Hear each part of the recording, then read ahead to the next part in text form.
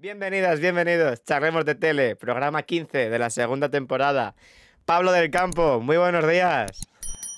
¿Quién nos lo iba a decir, José? Buenos días. Bueno, bienvenidos a todos. Por poco no llegamos, pero tenemos preparado un programa para terminar la temporada por todo lo alto. Tenemos, como ya hemos anunciado en redes, que sé que nos seguís por ahí también, a Xavier Fortes. Lo he dicho bien, ¿verdad, José? Lo has dicho perfectísimamente, Xavier Fortes, uno de los presentadores estrellas de la Corporación Radio Televisión Española.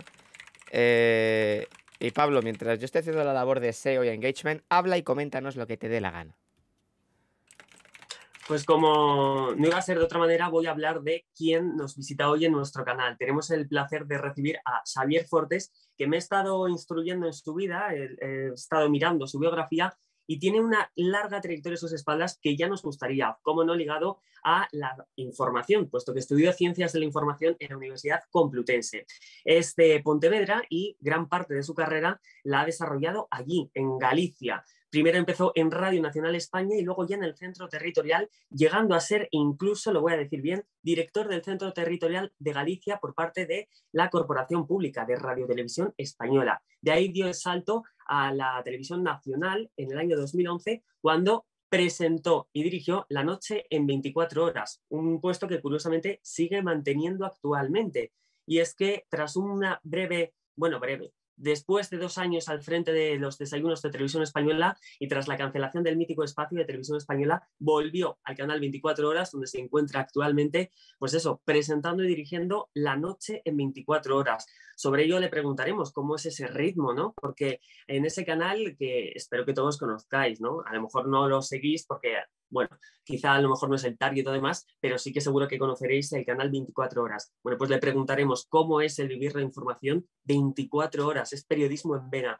Y por eso tenemos el honor y el placer de recibir aquí a Xavier Fortes, que es eh, el periodismo hecho persona, ¿no? Fundamentalmente, pues por esa larga trayectoria, toda, por cierto, ligada a lo que es la ciencia de la información aunque, os estoy contando, ha hecho radio, ha hecho televisión, todo informativo, también ha hecho incluso documentales. Tengo que decir, lo tengo por aquí, que, eh, bueno, a pesar de estar, eh, siempre ha estado muy ligado a su tierra, puesto que uno de sus últimos trabajos en el campo del documental repasa la historia de Galicia durante las últimas cuatro décadas.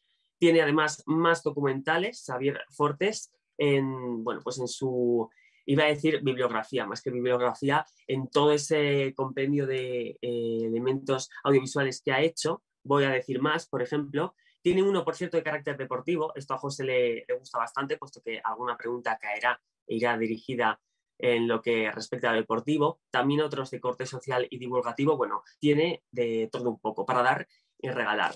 Entonces, bueno, pues esperemos que nos hable de esto y poco más. De todo esto que no es poco también digo. Así que a ver qué tal. Muy bien, Pablo. por ahí. Lo has hecho, lo has hecho muy bien, Pablo. Eh, su vida, ¿eh? Efectivamente. Y vamos a darle la. Bueno, tengo que cambiar de enlace, Pablo Francisco del Campo, como bien sabes. Por lo tanto. Claro, Yo también, ¿verdad? Eh, sí, por supuesto. Por lo tanto. tú me vas guiando. Eh, yo te voy a ir guiando en esta. José, una cosa, yo estoy en Zoom, ¿eh? Ya, ya, y. Claro, ¿y dónde vas a estar? Por acaso. No, no. Estás en Zoom y seguirás en Zoom. Tú no te preocupes. Por vale, me quedo quieto, no toco nada. Sí, tú te quedas quieto, no tocas absolutamente nada. Y yo estoy moviendo esto por aquí y por allá. Las cosas del directo, ¿no? Yo creo que has presentado muy bien a Xavier. Te doy la enhorabuena por ello. Eh... tiene una trayectoria intensa, ¿eh? Cuanto menos. Y todo dedicado, la mayoría, a la información. Que ojo, cuidado. Tú, por ejemplo, José, la información te llama, ¿no? Está claro, no hay más que ver tu canal. Sí, sí, Pero también el deporte. Sí, sí, sí, sí, o podéis verlo en YouTube, ah, que el enlace está abajo. También me llama a hacer siete cosas a la vez, es como una, droga, que cuantas más cosas me pueda hacer a la vez, mejor. vale, pues voy a meter a... Te voy a cortar aquí un poquito la, cámara y ahora te, te meto, Pablo.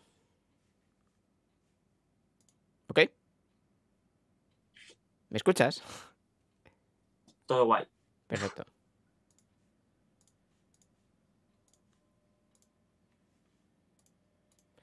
Bueno, pues aquí me he quedado yo solo. Vamos a meter ya a Xavier eh, Fortes.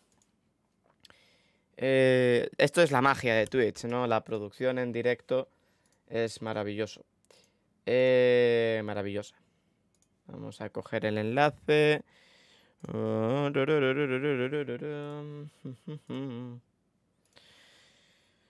Ay, Dios mío.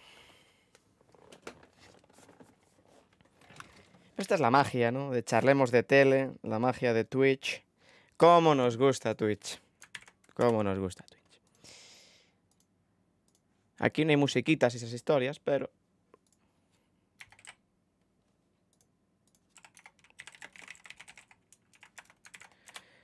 Vale, vale. Esto ya está por aquí, esto ya está por allá. Admitimos.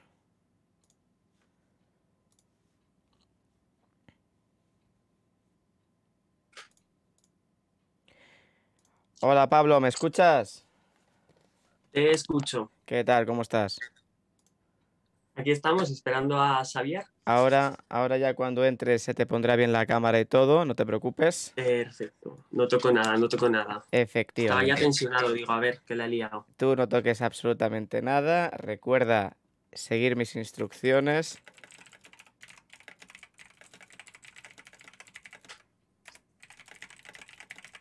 Tú sigue mis instrucciones, ¿ok? Ujú. Ajá, Venga, pues perfecto. vamos a darle. tú, tú sigue mis instrucciones y todo irá bien. A ver. Vale. Me ha dicho que se lo envíe por correo. Por lo que, un momentito, Pablo. De momento se te está viendo mal en pantalla, pero ya para cuadrarte y estas cosas sabes que, que así es la vida, ¿no? Y que la imagen aquí no es lo importante. Aquí es mientras nos escuchen, No, por lo menos. Y que se va a ver bien, solo que como va a entrar Xavier, pues ya dejo las cámaras preparadas. Porque de momento... Estamos generando hype en la audiencia. Sí, sí, sí. De momento no tenemos nosotros. realizador y claro, pues es lo que. Era una broma de las tuyas, José. Ahora, ahora hay pocas bromas, eh, la verdad. En momentos de crisis hay pocas bromas. A ver, ya está, ya está, ya está, ya está, ya está todo controlado.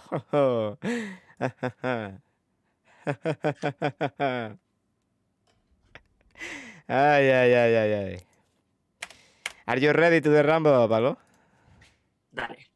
Tenemos el chat abierto. Tenemos el chat abierto. Creo que se está viendo bien. Si alguien quiere comentar por el chat, aunque Marina es cierto que hace tiempo que no se mete, ¿eh? yo creo que ha perdido el encanto por este formato, por este programa. Y por cierto, Pablo, he de decir que me, me gusta esa cámara la- eh, trasera que tienes. ¿El qué?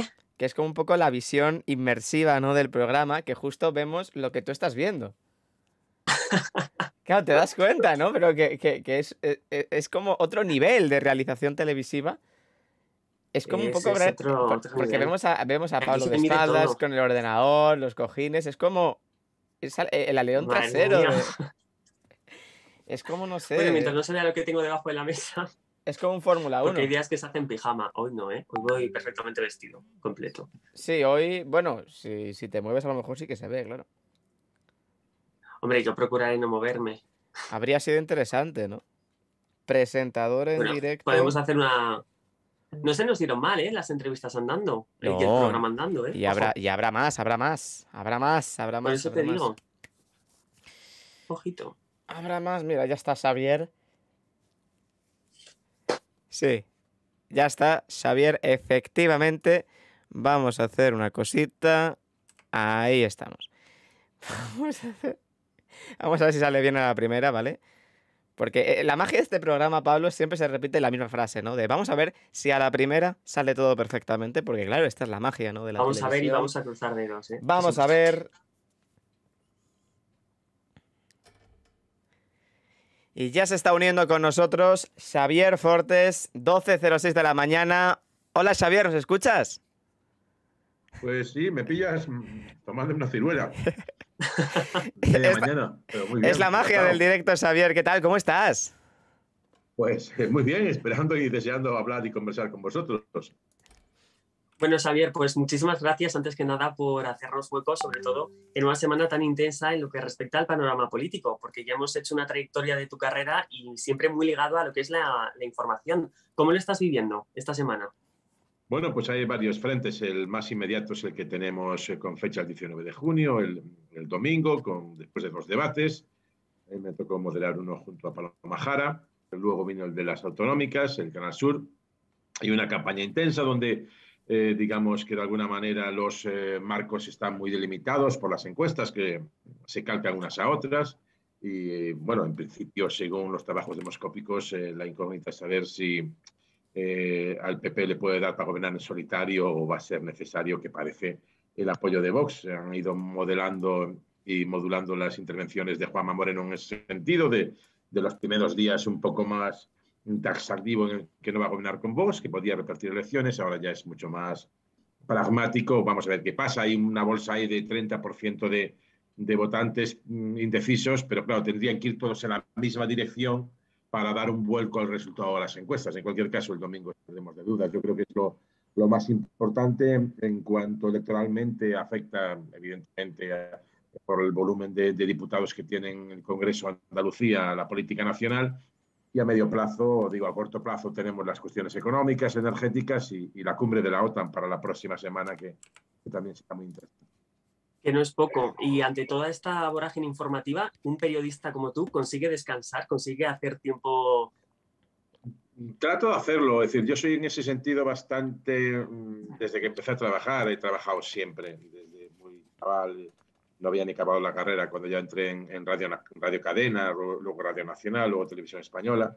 Tuve que costearme los estudios, desde Pontevedra venía a mirarme a Madrid digamos que he compaginado bastante los estudios con el trabajo desde muy pronto, pero siempre he sido muy celoso de mi tiempo libre. Ahora mismo apenas tengo, hago unas rutas por ahí por la mañana por el parque para, para un poco, y, mm, pero sí trato de tener tiempo para lo que puedo, para leer un poco, para, para hacer un poco de ocio.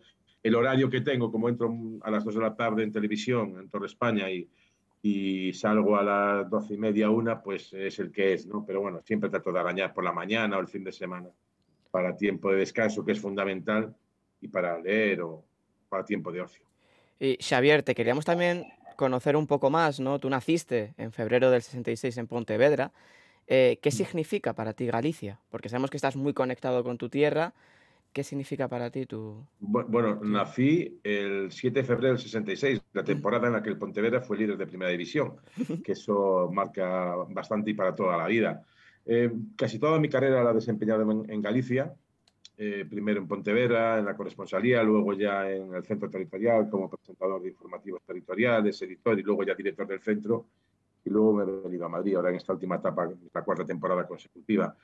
Y bueno, pues es un poco pues la referencia que tienes, ¿no? Tus eh, relaciones afectivas, tus relaciones eh, de amistad, tu familia. Yo a mi familia la tengo en Pontevedra, excepto un hijo que está estudiando aquí, para mi desgracia, periodismo. Hmm que yo quería que hiciera ingeniería, pero estas cosas que pasan. Y, pues tengo ahí mujer y otros dos eh, chavales en Pontevedra, voy los fines de semana que puedo, pero lo tengo muy presente. De todas formas, eh, los gallegos somos un poco de todas partes, por eso mm. cuando decían que, hombre, como un gallego puede moderar un debate en Cataluña, en Castilla y León, en Andalucía, yo les decía que los gallegos somos universales por, nuestro, por nuestra forma de movernos por el mundo desde la antigüedad y somos un poco de todas partes. ¿Y qué pensaste cuando tu hijo te dijo, mira, quiero estudiar periodismo? Bueno, eh, primero dijo, mira, vamos a ver, tú tienes mucho mejores notas que tu padre, tienes más talento que tu padre, estudias más y mejor que tu padre, eh, ya tendrás tiempo si quieres de hacer periodismo, pero empieza una ingeniería. La hizo el primer año, fue el de la pandemia. Y digamos que hasta diciembre fue bien, luego ya vino todo lo que vino y cambió de opinión y bueno, pues hay que ser comprensivo. Él quiere hacer periodismo, pues yo al principio le orienté por, la, por, las, por las ciencias, por la ingeniería, ahora él está haciendo periodismo, está eh, haciendo unas notas maravillosas que yo no, no habría conseguido ni, ni concentrando todas desde primero de GB al final de la carrera conseguiría una de las notas de mi hijo, pero, pero se va de Erasmus ahora para Bruselas el año que viene y, nada, pues desearle suerte y además estoy convencido que va a mejorar los registros de su padre sin ninguna duda. y también ¿Le das consejos? Sí, ¿Perdón? Si le das consejos, ¿qué consejos le das así en el ámbito periodístico? Muy pocos consejos porque no, no tengo ni consejos para mí y cada vez que doy consejos opino me equivoco, ¿no? Eh, simplemente, pues eso, que, que, estudie, que se forme, que lea, que lea, me parece, para hacer periodismo hay que leer mucho la historia de España, hay que leer mucho la historia de España, sobre todo el 19, desde, desde las Cortes de Cádiz fundamentalmente, que es el nacimiento de la nación española. Ya sé que viene más atrás, pero como, como cuerpo jurídico con ciudadanos en vez de súbditos, a pesar de que pues tuvimos a Fernando VII y tuvimos sobre todo los 40 años de dictadura franquista, que fueron una vuelta al absolutismo, es donde nace, digamos, la historia de nuestro país, el 9 y el 20, ¿no? Y pues eso que lo estudie mucho. Hay literatura también sobre esos años, todo Galdós, todos los episodios nacionales. Mm, eh, la, historia del siglo XX que lo sepa muy bien, la transición es fundamental. Y luego que lea, que lea mucho y que reflexione y que luego entienda que nuestro oficio juzga mucho y que hay que ser muy respetuoso con la, eh, con la gente y con las personas que juzgas porque le pones un foco que le puede arruinar su vida personal, a su vida profesional. En ese sentido, me gustan más las dudas que las certezas a la hora de acercarse a cualquier personaje público. Justo. Y antes, Xavier, ya nos hablabas del Pontevedra. Sé que una de tus grandes aficiones es el deporte y especialmente el fútbol, hasta el punto de que el año pasado publicaste Crónicas Cancheras, que además estuviste en la Feria del Libro firmando, firmando ejemplares. Eh, claro, en ese libro hablas del fútbol de toda la vida. A ti, Mm. Para ti, ¿qué es el fútbol de toda la vida? Ese fútbol de, campo de siempre. Pues es que es como, como nos socializamos en nuestra época. Yo, como decía, soy del 66, o sea que mis primeras relaciones con el fútbol son de principios de los 70 y no había ni tablets, no había ni móviles, ni iPhone, ni YouTube, ni Internet. Había fútbol, un descampado, unas porterías, un balón y 11, chavales jugando al fútbol. ¿no? Para mí eso es el ejemplo más claro de lo que es la, la, felicidad, los chavales jugando al fútbol. A mí por lo menos es lo que me, lo que me motiva, lo que me gusta y, apelo un poco a esas sensaciones de niño, ¿no? donde, donde la liturgia del fútbol, aunque fuera incluso en un descampado, la salida del colegio se mantenía y hay ciertas cosas del fútbol moderno que me gustan menos o me gustan bastante poco.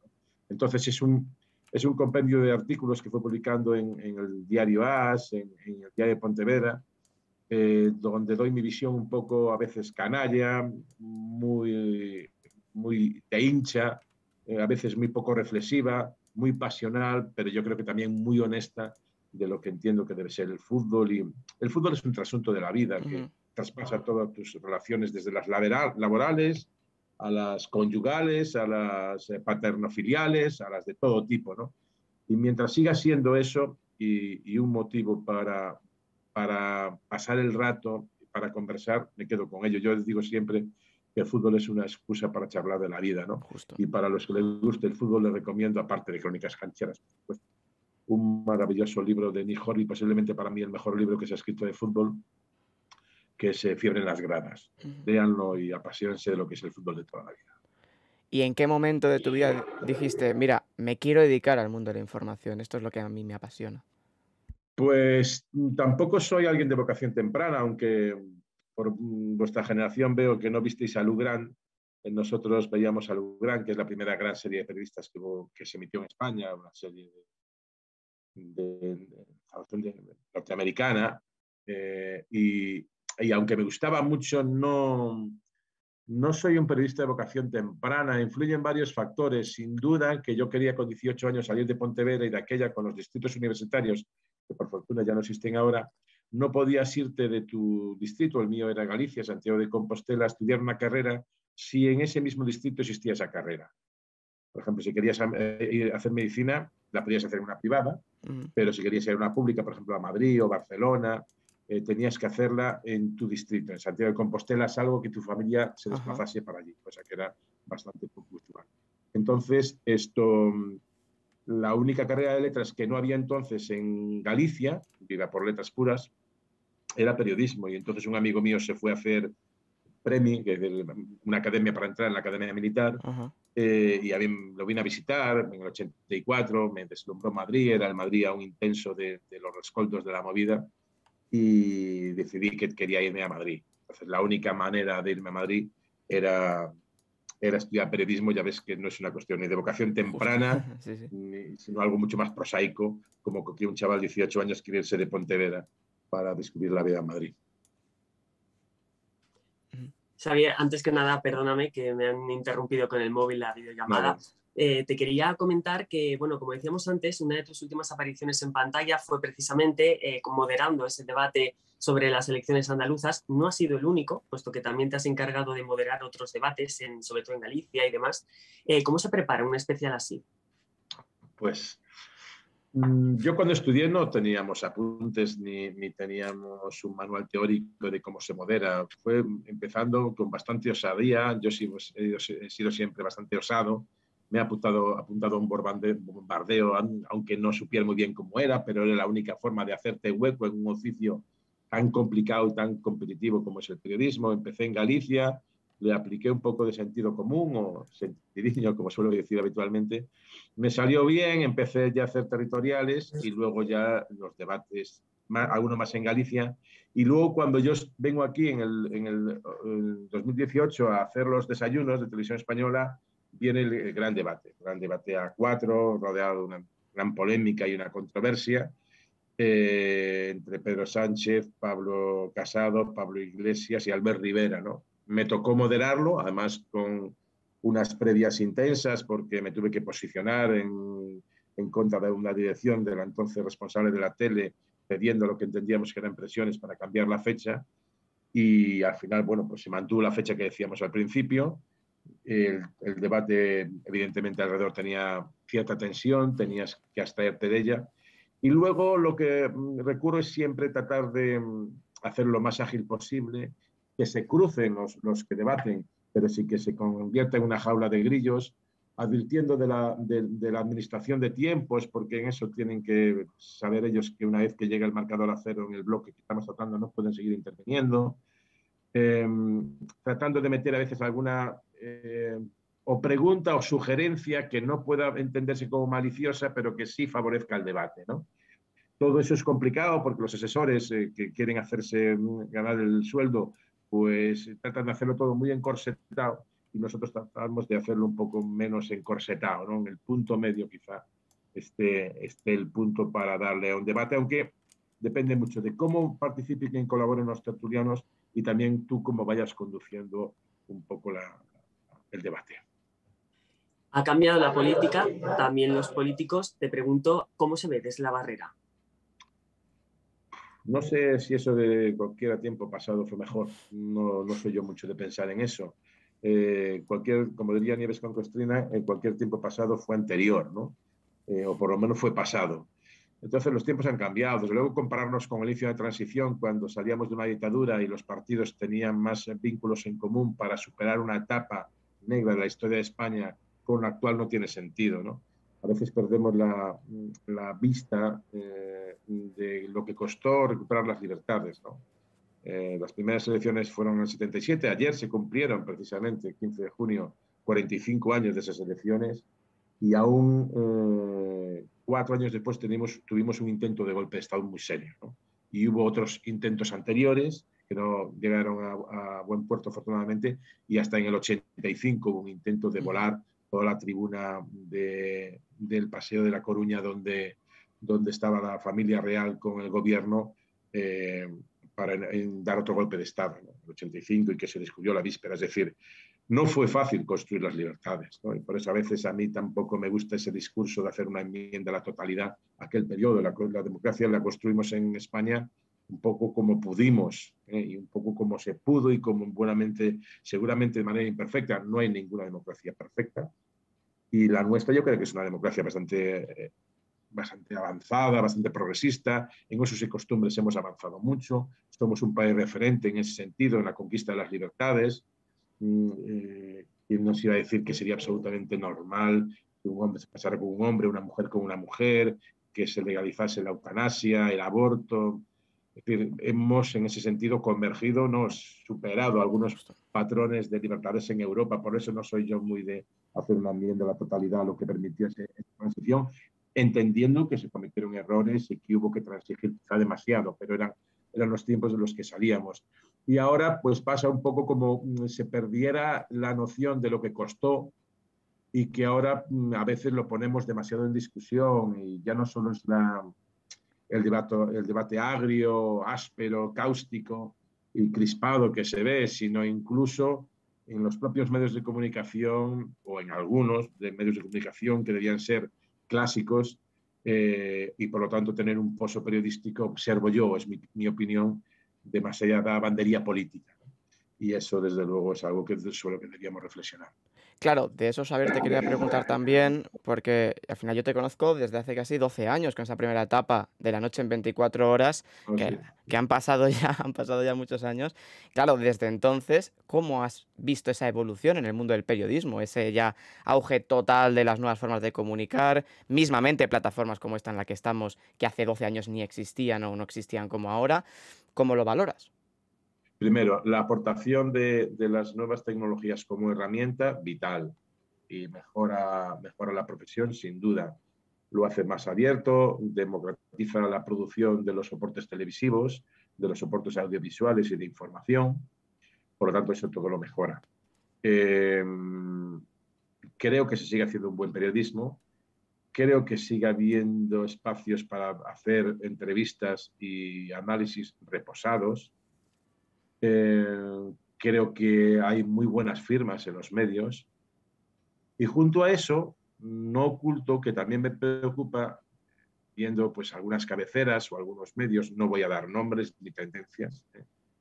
pero sí que me parece que leyendo esas portadas o entradas o titulares, como que si la línea ideológica de ese medio eh, fuese absoluta. Yo entiendo que los medios tienen que tener líneas ideológicas y de la diversidad de líneas ideológicas o de, o de um, soportes, digamos, deontológicos e ideológicos, nace la pluralidad, si hay pluralidad. pluralidad. Pero lo, que nunca debe la línea de un medio, de un periódico, de una radio, de una tele, etcétera, es um, nublarte la realidad. Y es imposible, um, absolutamente imposible que si tú, por ejemplo, eres un, un, periódico de progresista o si eres conservador, los tuyos siempre acierten y los otros siempre se equivoquen. Eso no pasa. Y yo estoy desgraciadamente asistiendo a algunas cabeceras o algunas emisoras en las que los que hacen el digamos, adversario ideológicamente de la línea del periódico siempre está mal y lo que hacen los propios siempre está bien. Eso estadísticamente es absolutamente imposible.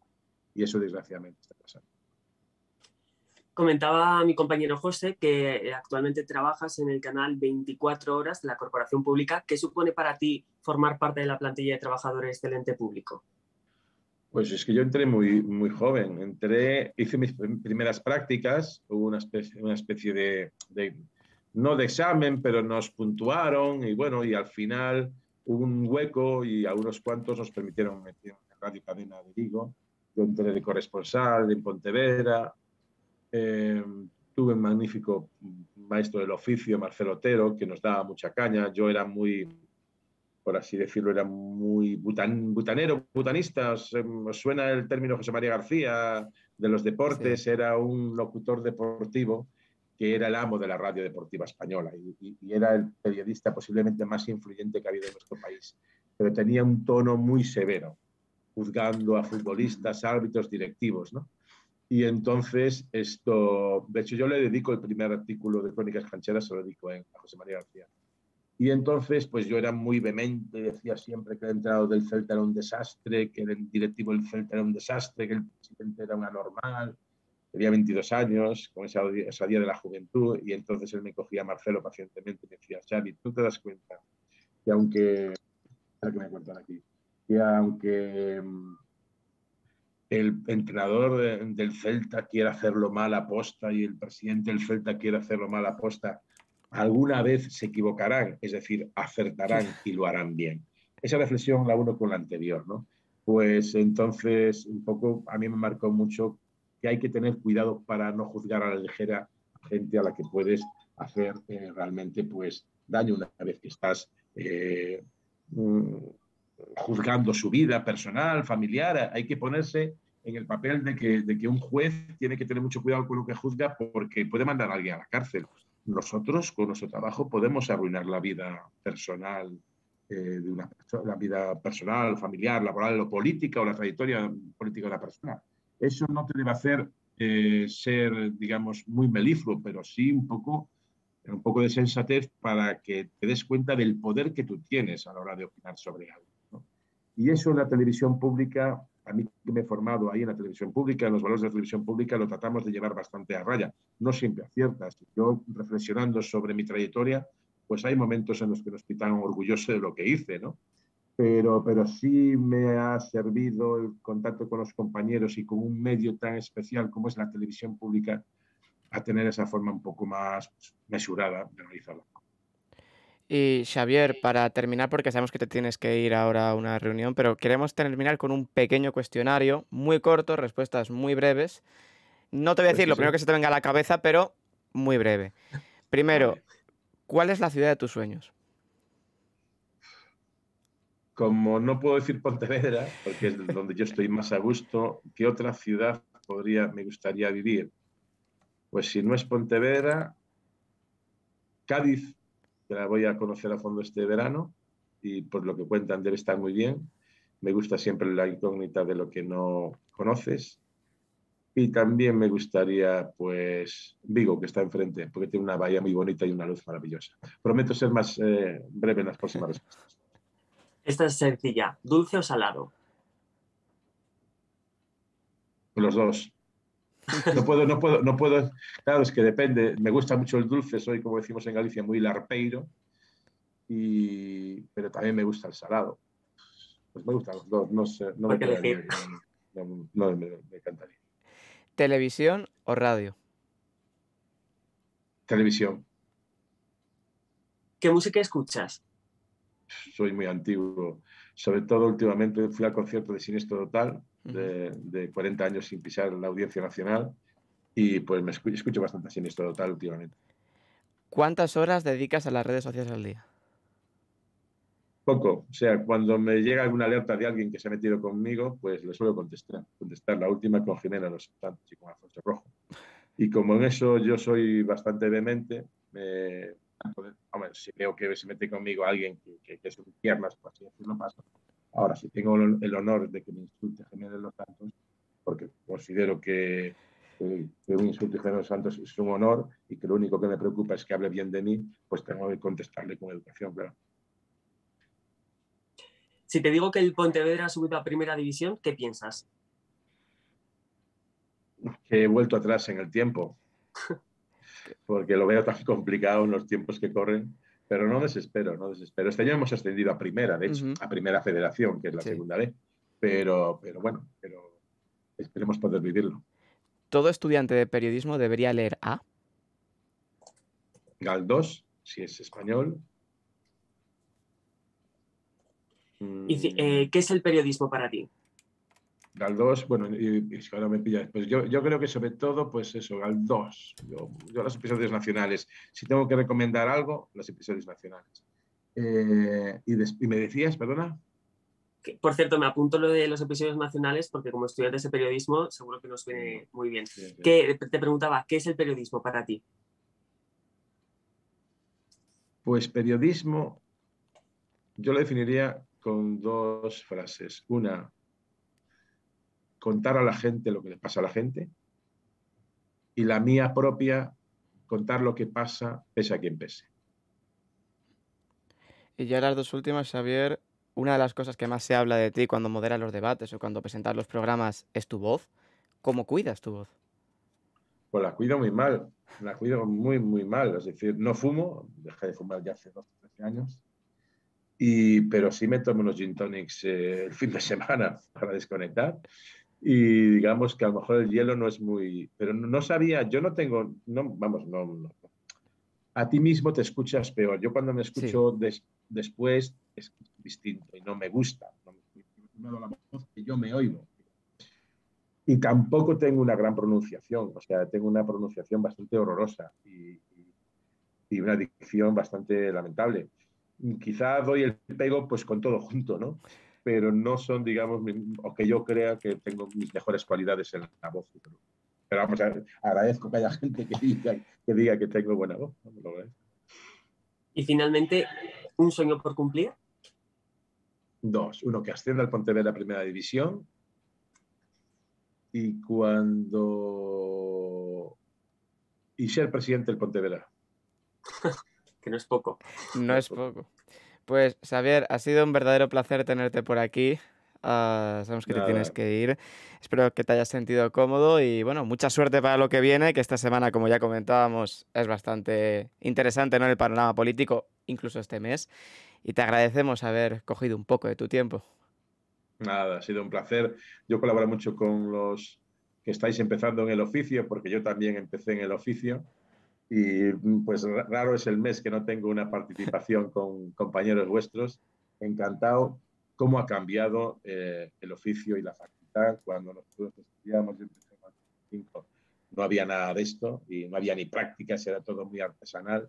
Y desde luego yo creo que esto ayuda a mejorar mucho el, oficio. Desde luego vais a estar mucho más duchos y más, más entrenados en los medios audiovisuales que, que nosotros, esta generación.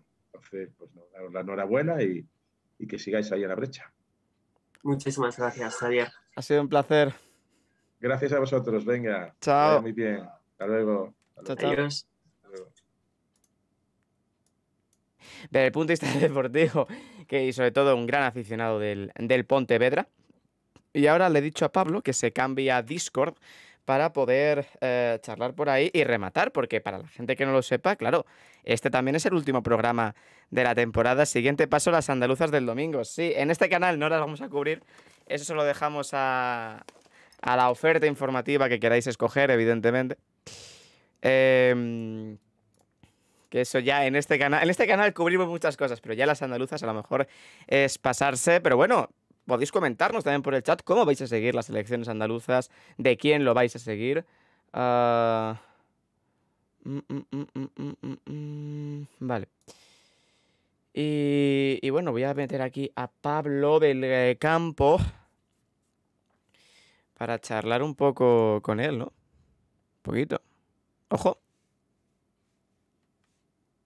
¿Qué os apostáis a que aparece vertical? Ah, no. Mira, ha aparecido, ¿eh? ha aparecido bien en la primera. Pablo del Campo, ¿qué tal? buenos días, ¿me escuchas? Te ha parecido bien, ¿eh? Que ya... El que ya, ya, se ha parecido bien a la primera, ¿eh?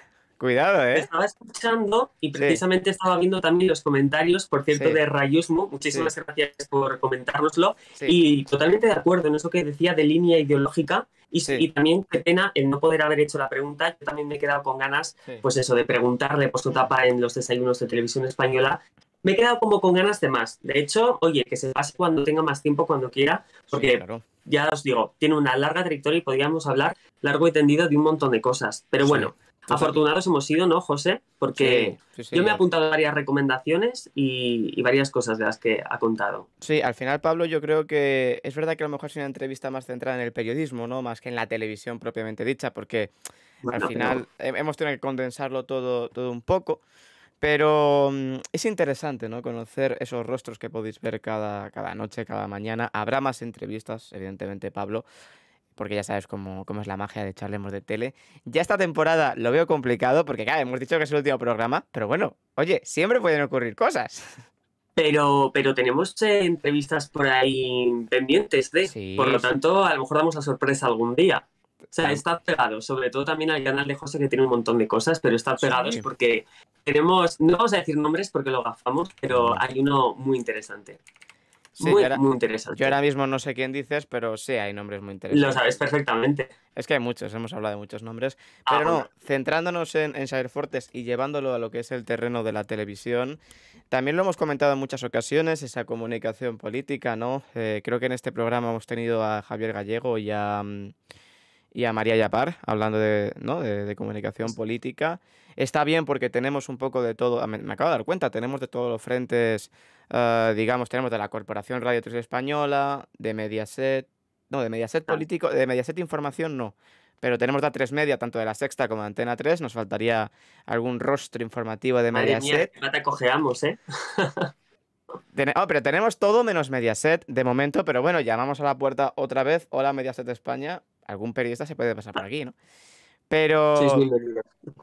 y el otro día tú estuviste con una antena 3, por lo tanto, interesante, ¿no? Es verdad. Pero, pero bueno, yo sobre todo me quedo con el hecho de que, mm, aunque haya un periodista que tenga que bregar todas las noches, ¿no? Con, con politólogos, sin ir más lejos, Javier Fortes coincide mucho con Estefanía Molina, amiga de este canal, eh, en la noche en 24 horas, luego también políticos, moderando los debates. Ese debate a cuatro en el año 2018 es cierto que lo moderó él también, eh, junto con otros periodistas. Claro, pero luego tiene una vida. Xavier Fortes posiblemente, lo has visto en la última pregunta, lo que más, o su principal sueño sería que el Pontevedra regresase al, a, la, primera categoría del fútbol español, un histórico de nuestro fútbol, y te ha dicho ser presidente del Pontevedra. ¿Sabes? La importancia, ¿no?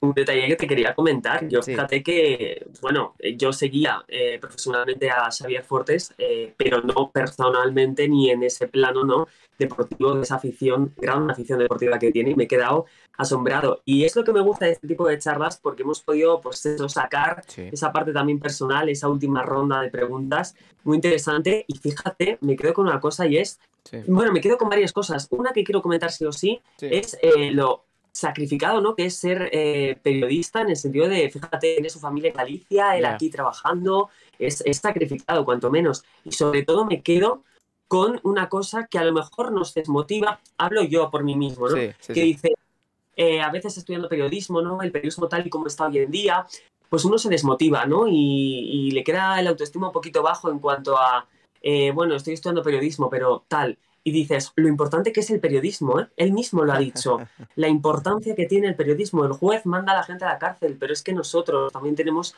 una obligación muy grande y a lo mejor es echarme flores yo como estudiante de periodismo, que a lo mejor me hacen falta, ¿no? Por, el, por eso que te digo de la autoestima, que dices, a veces no nos damos cuenta de lo importante que es. Y me quedo con ese detalle que ha dicho, es muy importante. Y más en los tiempos que corren, ojo. También, Pablo, he de decir una cosa. Eh, que no somos periodistas. somos showman. No, no. Ya sabes que yo desde primero somos periodistas. Una persona que informa y tiene formación, para mí es periodista. Pero, claro, llevándolo a nuestro terreno, que es el terreno de la televisión, aparte de que no es fácil colocarse todos los días enfrente de una cámara, la pregunta de las redes sociales que le he hecho, de cuántas horas pasa el día en las redes sociales, es porque, claro, sabemos que mucha gente del mundo de la televisión, y sobre todo en el mundo político, las flores nunca eh, vienen mal, dice Paula por el chat. Paula te manda un, saludo, las flores nunca vienen mal.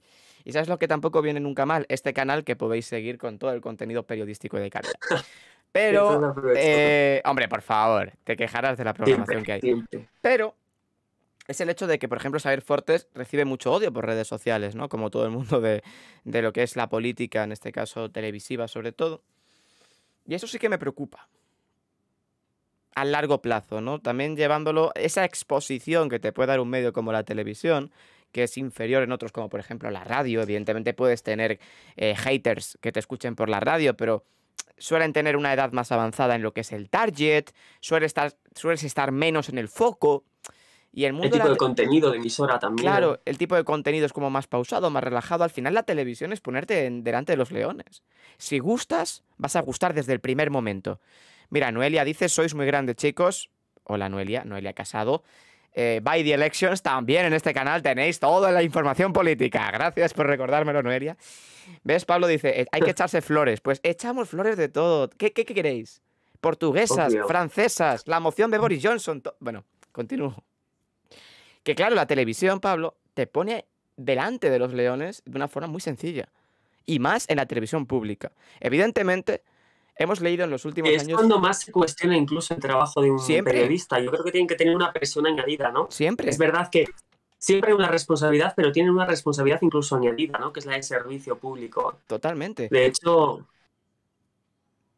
decía, ahí nos, han quedado a lo mejor, quizá a lo mejor alguna pregunta en el sí. ¿no? Porque siempre colea cierta polémica sobre la corporación y sobre demás, bueno, pues eh, habría estado interesante, ¿no? Preguntarle y decirle cómo, cómo lleva a cabo su trabajo y, bueno, él también lo ha hablado, ¿no? Cuando querían mm, cambiar la fecha del debate electorales y que rescataba a él, esas presiones, cómo es trabajar así, que también, ojo, no es fácil.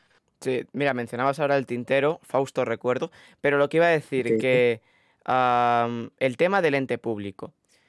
Sabéis, espectadores y espectadoras de Tele, que tenemos pendiente un programa sobre la Corporación Radio Televisión Española, siempre lo decimos. No lo pero- digas más. No, lo digas No, más. pero es cierto que lo tenemos pendiente una mesa, una mesa redonda, solo que no es Verdad. fácil porque queremos tener todos los, los frentes Muchos abiertos. perfiles. Y queremos Tenemos hacerlo. alguno. Tenemos alguno, pero queremos hacerlo de forma respetuosa porque, claro, tú vas a televisión española y, y si ya piensan que vamos a criticar o que va a ser. No, esto es un foro de debate, esto es una ágora. Y no ágora fútbol, sino en este caso nuestro ágora de comunicación y decir, Eso. queremos. Claro, queremos hablar del ente público para mejorarlo, evidentemente.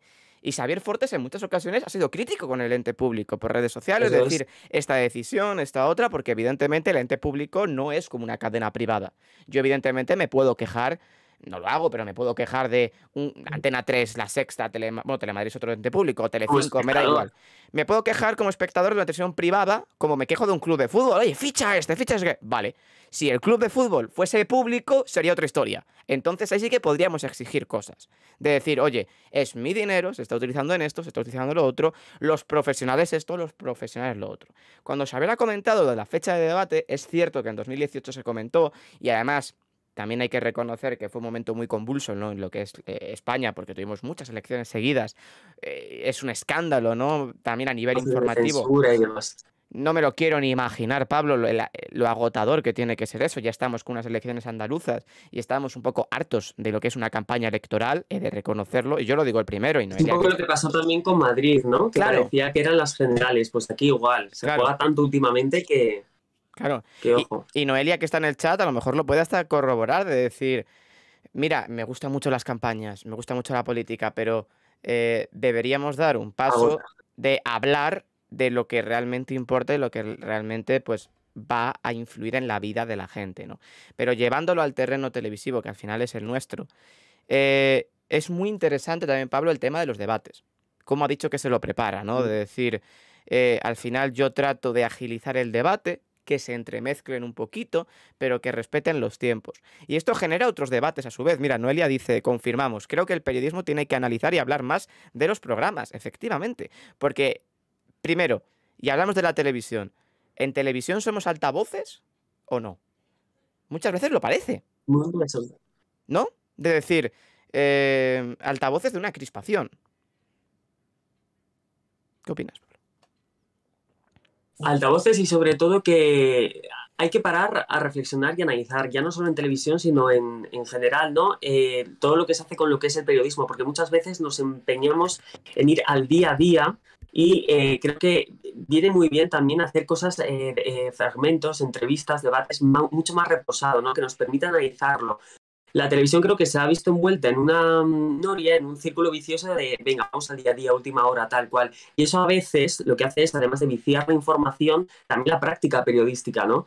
Por lo tanto, me parece cuanto menos interesante y también, por cierto, el formato del debate, el Sí. debate electoral como tal, que también quería preguntarle, ¿no? Ese aspecto de cómo, cómo, es, cómo es la recepción de los debates en la audiencia. Yo no sé si tú tendrás información, José, un Sí. poco de, de cómo es esto, ¿no? De si durante el... ves que hay más desconexión por parte de los espectadores Sí. en un debate electoral, si cada vez hay más, si se ha creado como un evento televisivo.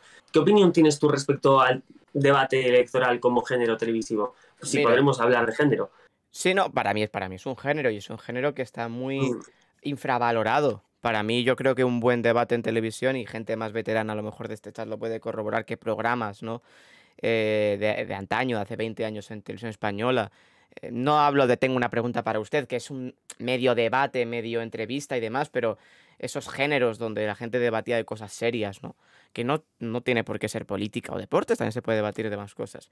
Yo creo yo ahí también me hubiera faltado preguntarle a Xavier que a mí personalmente no me gusta el formato de debate de televisión española o el que hace televisión española. Los debates electorales no me gusta, esto ya lo he comentado siempre. Y no es como una crítica a televisión española, sino a lo que es el, el debate. A mí lo de que haya marcadores con tiempo no me gusta nada. Nunca me ha gustado. En el hecho de cinco minutos, cinco minutos, cinco minutos, cinco minutos, nunca me ha gustado. Y aquí estoy mucho más a favor del modelo de debate a tres media cuando los ha hecho en, en otras ocasiones. ¿Por qué? Primero, porque un debate, para mí un debate no es un monólogo. Si son cinco minutos, cinco minutos, cinco minutos, cinco minutos, al final se convierte en monólogo. Eh, con las andaluzas lo vimos. Vale, el primer minuto lo tienen reservado cada uno. Luego Xavier dice, mira, os podéis entremezclar y os podéis cortar. Y cuando se cortan, o es para... debatir. Y cuando se cortan es eh, o para faltar o para hacer un meme y que luego, porque eso luego lo, juegan mucho con ello, ¿no? De sacar un cartelito, de sacar un ladrillo, de sacar una lista. Claro, para mí ese nivel de debate me aborrece. Yo entonces quitaría los, los marcadores, como el formato que hace tres media, quitaría los marcadores y si tú hablas menos, a lo mejor es o porque no tienes tanto que ofrecer al electorado, lo cual el electorado tendrá que valorar, o a lo mejor, pues es cada estrategia, ¿no? Pero que al menos la audiencia lo detecte. ¿Por qué es tan mal coger una sala de gente que vaya controlando el tiempo, como hace tres media, ¿no? Que dicen, vale, esta persona lleva 7.32, esta 5.31, pues vamos a intentar que esta persona hable más. Eso, ok, para que haya un poco de paridad y también porque la ley electoral así lo pide. Pero no me gusta nada lo, de cinco minutos, cinco minutos, cinco minutos, porque luego se convierte en monólogos súper aburridos. Vamos a reconocerlo, porque ya antes de que empiece el debate, sabes eh, lo que va a decir. Porque, Pablo, el, eh, del último debate en Canal Sur, ¿con qué nos hemos quedado? Con Macarena Olona hablando de las torrijas. Eso te iba a decir. Es una vergüenza. Dos cosillas. La primera, tenemos a Noelia que dice lo mismo que tú. Estoy también de acuerdo que parecen mini mítines y es verdad, si tú le das cinco minutos, es como coger el meeting de cada uno en esos cinco minutos y hacerlo uno seguido a otro. Eso estoy totalmente de acuerdo. Y lo segundo es que cada vez eh, podemos hablar incluso menos de debate y más de show. Es como que el show ha comido al debate, porque acordémonos, por ejemplo, de esa, eh, las listas de los papeles, eh, la, el adoquín que llevó Albert Rivera, o de hecho, sin, sin ir más lejos, este último debate en, el canal, en Canal Sur, con Macarena Lona, las Torrijas y el candidato de Ciudadanos también que le ha dado mm, Pablo y Bola todo ello. Yo te juro, yo no seguí, he de confesar, yo no seguí el debate. No sé si tú seguiste el canal Sur. yo no lo seguí.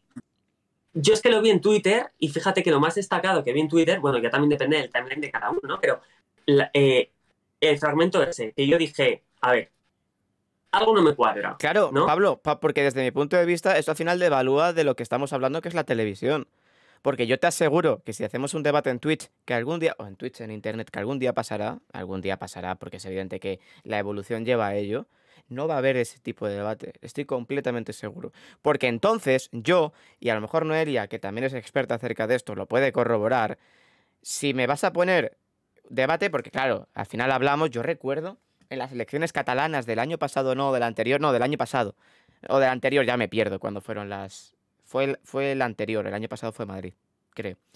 Que se hablaba de ese debate a 8 o debate a 7, no recuerdo que eran muchísimos candidatos. Claro, Pablo, estamos hablando de que es un debate entre tantas personas y me pones un marcador de tiempo y de verdad se te hace horrible seguirlo. Porque es imposible de seguir, porque sabes al final lo que va a decir cada uno. Y la gente lo que está esperando es que falle uno, el meme de otro. Es al final devalúa el producto televisivo. Porque en televisión siempre se dice el tiempo es oro, evidentemente. Si un político quiere llegar a ese 30% de indecisos que se dice que hay en Andalucía actualmente, que bueno, realmente luego esto se dice, pero luego se van a repartir de manera proporcional. Como ha dicho Xavier, el 30%, no se lo va a quedar todo un partido, porque si no, ganaría un partido con un 70%. Pero, claro, evidentemente, si le das 5 minutos, ¿tú crees realmente que alguien le va a convencer? Que a lo mejor alguno habrá, hombre, alguno tiene que haber porque si no, no lo harían. Pero. Pero para, para mí, donde se ve a un político o a una política, y de verdad, el convencimiento, que es lo que falta hoy en día a la hora de gobernar o a la hora de decir quiero gobernar, en televisión es debatiendo con los otros y con las otras. En el cuerpo a cuerpo. En, el, cara cara, en el cara a cara. Y esto hay gente que no lo valora, que dice, no, es que tenemos que ser serios. No se puede hacer un debate eh, de esta forma sin ser serio? No lo entiendo. Es que parece que la seriedad, y aquí hablo evidentemente del terreno televisivo, porque en la radio es un formato mucho más reposado, se presta mucho más al análisis. también te iba a decir, ojo, cuidado. A ver, ha habido ejemplos que no, pero en los últimos tiempos. Que sin ir más lejos volvemos al show. Sí, pero me refiero que la radio cuando la escuchas sabes, o al menos yo, en la mayoría de ocasiones, claro, y que sabes que vas a escuchar más análisis, más sosegado, ¿me entiendes? Cuando pones un debate en televisión, dices, a ver qué, como pasaba con los debates electorales hace cuatro años. ¿Qué va a sacar hoy Albert Rivera? Un día sacó una lista, al día siguiente un adoquín. ¿Qué pasa? Que luego eso no se traduce en votos. Con el adoquín casi pierde el grupo parlamentario. Por lo que habría que realmente cuestionarse esa forma de hacer debates en televisión. ¿Sabes? Porque además también la gente lo está reclamando cada vez más. Cada vez habrá más gente joven que consuma la televisión por ese cambio generacional. ¿Tú crees realmente que a un señor de 70, 80 años, que ya más o menos tendrá claro su voto, le vas a convencer yendo a un meeting o yendo a un debate hablando de torrijas? ¿Tú crees realmente eso? Pero el nivel de debate de Andalucía, lo que le preocupa a los andaluces son las torrijas. estrategias, ¿no? Todo está muy medido, estamos hablando de estrategias y es mejor que se hable de eso a que se hable de otras cosas, ¿no? Más incómodas. No, Por lo tanto. Claro, pero yo digo, en este programa, como sabéis, tratamos de aportar ideas para el mundo de la televisión. Y podemos hacer un. La idea es eliminar los marcadores. Sí, sí, sí. hacerlo modo tres media. Modo tres media. Pero traemos a Ana Pastori que nos lo diga. La traemos ahora mismo. ¿Te imaginas? No. Pero... Que, se pase por el canal, que llevamos también un año sí, pidiéndoselo. Algún día, algún día se pasará, pero digo. Bueno, precisamente también nos ha faltado hablar de los desayunos de televisión española que Xavier Fortes fue despedido justo a la vez que fue despedida Ana Pastor en su día. Pero bueno, hubiera. Sí. De, pero no de los desayunos, estamos entendiendo, en el 2012, estamos hablando del 2012. Claro, claro, claro, claro, del ente, público. Pero claro, Pablo, eh, podríamos hacer un programa de debates, traer aquí a varios moderadores de debates. Por de debates, porque te digo una cosa, el debate no solo es eh, un debate electoral, como tú bien has dicho, hay debates de todo. Y es verdad que a lo mejor se podría hacer un hueco en la televisión para el debate, aunque creo que ya los hay. Lo que pasa es que no están lo suficientemente, y esto ya es opinión, ponme el rótulo, no están lo suficientemente valorados, puesto que, lo que decía antes, se vicia mucho. Se vicia en el sentido de a ver a quién llevas a debatir, porque esa es otra cuestión muy importante y de gran responsabilidad. No cualquiera puede debatir. Entonces, que esto no es cuestión de tapar, o sea, aquí todo el mundo tiene voz, pero es verdad que si estamos hablando de X tema tendrás que llevar a gente entendida, no puedes llevar a una persona. Porque es que luego se da, porque el debate es, sin ir más lejos, el debate es algo que está en la televisión hoy en día, en, muchos programas, si no la mayoría. actualmente se debate y se habla de todo. Más que debatir, se habla de todo. Te digo, hablo de las mesas de tertulianos de los magazines matinales, que a veces llevan gente que dices, ostras, pues esto aquí, ojo, cuidado. Eso yo también, fíjate que lo incluyo en el debate, no como programa en sí, como es eh, un debate electoral, pero de lo cual podemos hablar mucho, o sea, mucho. Sí, luego también el hormiguero, ¿no? Que ya hace un año hizo esa como ronda de, debate o de hablar, pues que, que, también me pareció curioso, ¿no? Eh, es, un tema a debatir. Cuanto menos los perfiles son curiosos. Es un tema a debatir el tema de los debates.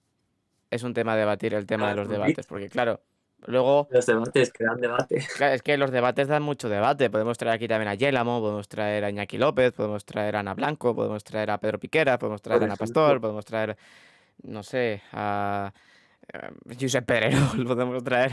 hablo de gente que modere debates, ¿no? Eso se me va más el target.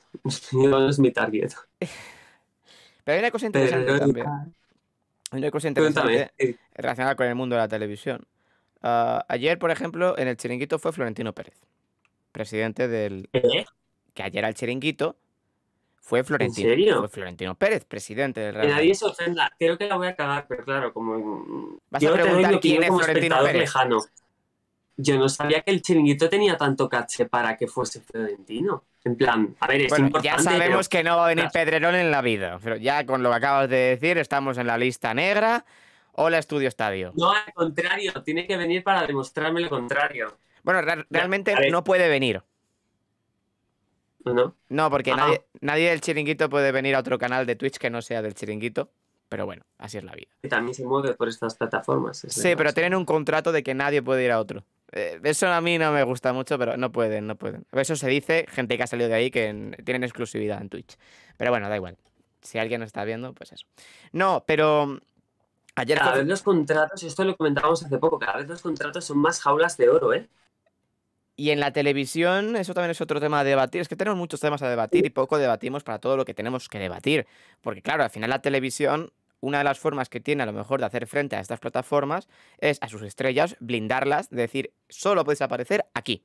¿Por qué? Porque si nosotros un día traemos a Tinez Rubira, aunque es una productora, pero otro día Xavier Fortes, otro día Ana Pastor y demás, al final los principales rostros de las cadenas están aquí. Pero si tú quieres conocer a Pedro Piqueras, no lo vas a conocer en el informativo Telecinco, sino en Charlemos de Tele con Pablo del Campo y José Miguel Márquez. y, y, eso es un problema. pero no, pero digo que eso es un problema de cara a la televisión. ¿Sabes? Porque y más que eso también, lo que, que, esto se lo...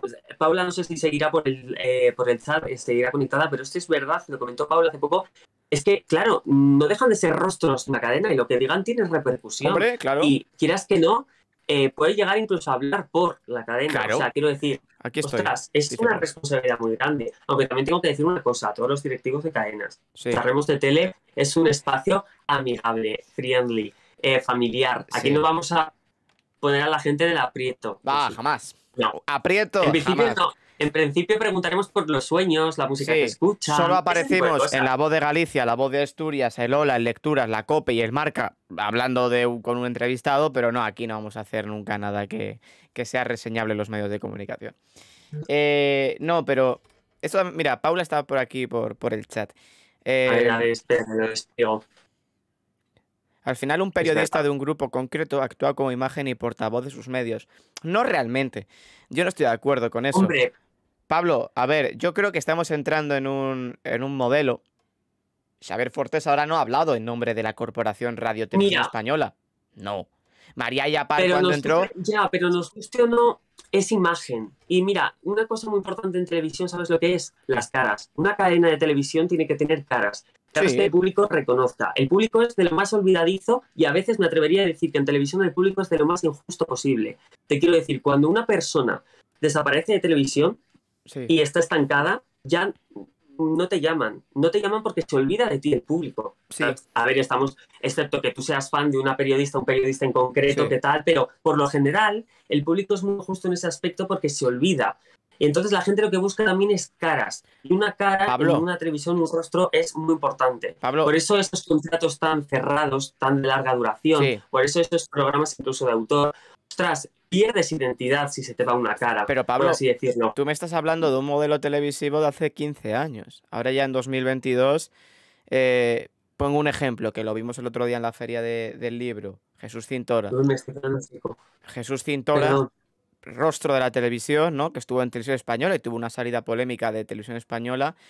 Ya con el tema de las redes sociales y demás, la gran parte de su público no le ha perdido la pista. Es lo que tú me comentas, me sirve para hace 15 años. De decir, no, claro, si desaparece de la televisión, tal. Pero ahora ya no. Porque ahora ya, si eres un periodista que tiene mucha vocación, te hablo tanto de televisión, de radio, etcétera. Si tienes mucha vocación, eh, lo más probable es que si te despiden de tu cadena, puedas generar tu propio contenido incluso, ¿vale? Eh, Pablo, si te parece, eh, Paula ha comentado algo por el chat. Te dejo aquí hablando con ella un momento, ¿vale? ¿Vale? Te dejo aquí hablando con ella. Que te dejo con ella aquí hablando un momento, pero te dejo las riendas del programa, ¿vale? Un momentito. ¿A dónde te vas? Me voy a hacer business. Eh, te dejo con el programa, un momentito. Bueno, Em, eh, si supiese si fuese realizador, yo lo que haría, ya lo que nos faltaba, no sé a dónde se va. Bueno, puedo intuir una cosa, no sé si decirlo o no, pero bueno, si fuese realizador, aquí metía a la gente. Por eso, por favor, ir hablando por el chat, que así no me quedo solo hablando. Dice, por ejemplo, Paula, eh, aquí estoy. Al final, un periodista de un grupo concreto actúa como imagen y portavoz de sus medios. Y es algo en lo que estoy totalmente de acuerdo, que es lo que se está dando, nos gusta no, es lo que se da, ¿no? De ahí decía los contratos de larga duración, porque en televisión firman por no sé cuántos años y. O sea, tú, por ejemplo, ves eh, Pedro Piqueras y dices Telecinco. Tú ves Ana Blanco y es que directamente dices el telediario de, incluso dirías, telediario de las 3 de la tarde. O sea, porque creo que le pasaron una vez a Ana Blanco a las 9, pero no cuajó mucho y luego volvió. Esto lo voy a mirar ahora, porque me parece interesante. Lo de Ana Blanco, creo que la pasaron a las 9 de la noche. Ana Blanco, que es un rostro, pues lo que os digo, súper mítico. Un rostro, por cierto, que no se ha movido y es cuanto menos curioso. Pero, pero sí, sí, esto tiene que aparecer por aquí. Lo dirigió durante seis años, ¿puede ser?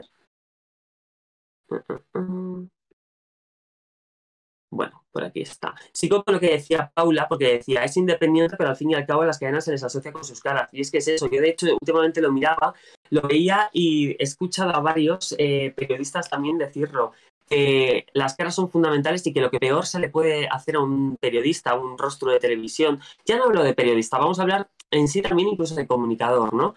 Es eh, quitarle, apartarle de, de, lo que son las, Mm, la cámara, ¿no? Del contacto con el público y sobre todo restringir el contacto con el público a través de otras vías. Me parece muy exagerado el tema de lo del chiringuito, por ejemplo, el tema de Twitch, porque eh, son otras vías y al fin y al cabo, si algo no le va bien en lo que es la televisión, creo que tendría que tener el derecho a probar por otras vías. A mí, por ejemplo, no sé qué os parecerá, a mí me parece un poco exagerado. Pero es verdad que la televisión restringe mucho y hablaba de jaulas de oro, por ejemplo, con lo que decía con que hace mucho daño en no estar en televisión. El público es muy gusto y se olvida. Te ponemos un ejemplo.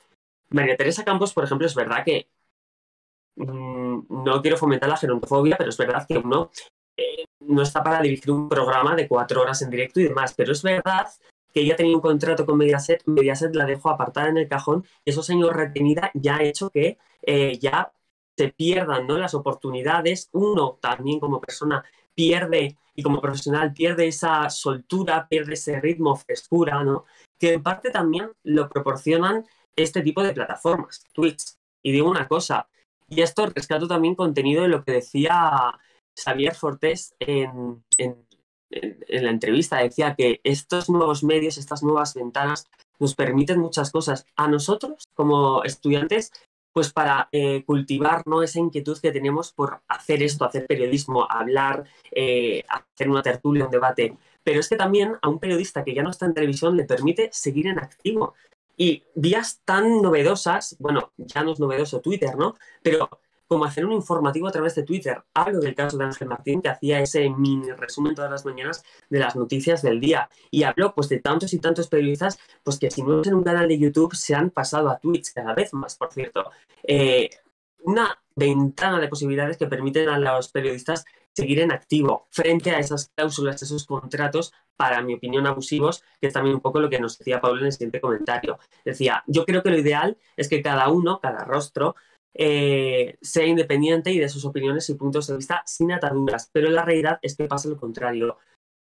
Pues, pues la verdad que sí, toda la razón, ¿no? Evidentemente yo creo que también hay temas en los que uno tiene que ser más cauto, tiene que ser quizá más cauteloso que contar, que no contar. Pero, pero claro, por supuesto. O sea, aquí ha habido casos en los que dices, pues eh, para una entrevista aquí en Charlemos de Tele, que es un formato, quieras que no familiar, pues incluso se han dado casos en los que dices, han tenido que pedir permiso a las cadenas. O sea, exagerado. Y está con nosotros. ¿Qué tal, José? He hecho un pedazo monólogo que se ha ido todo el mundo. Pero bueno.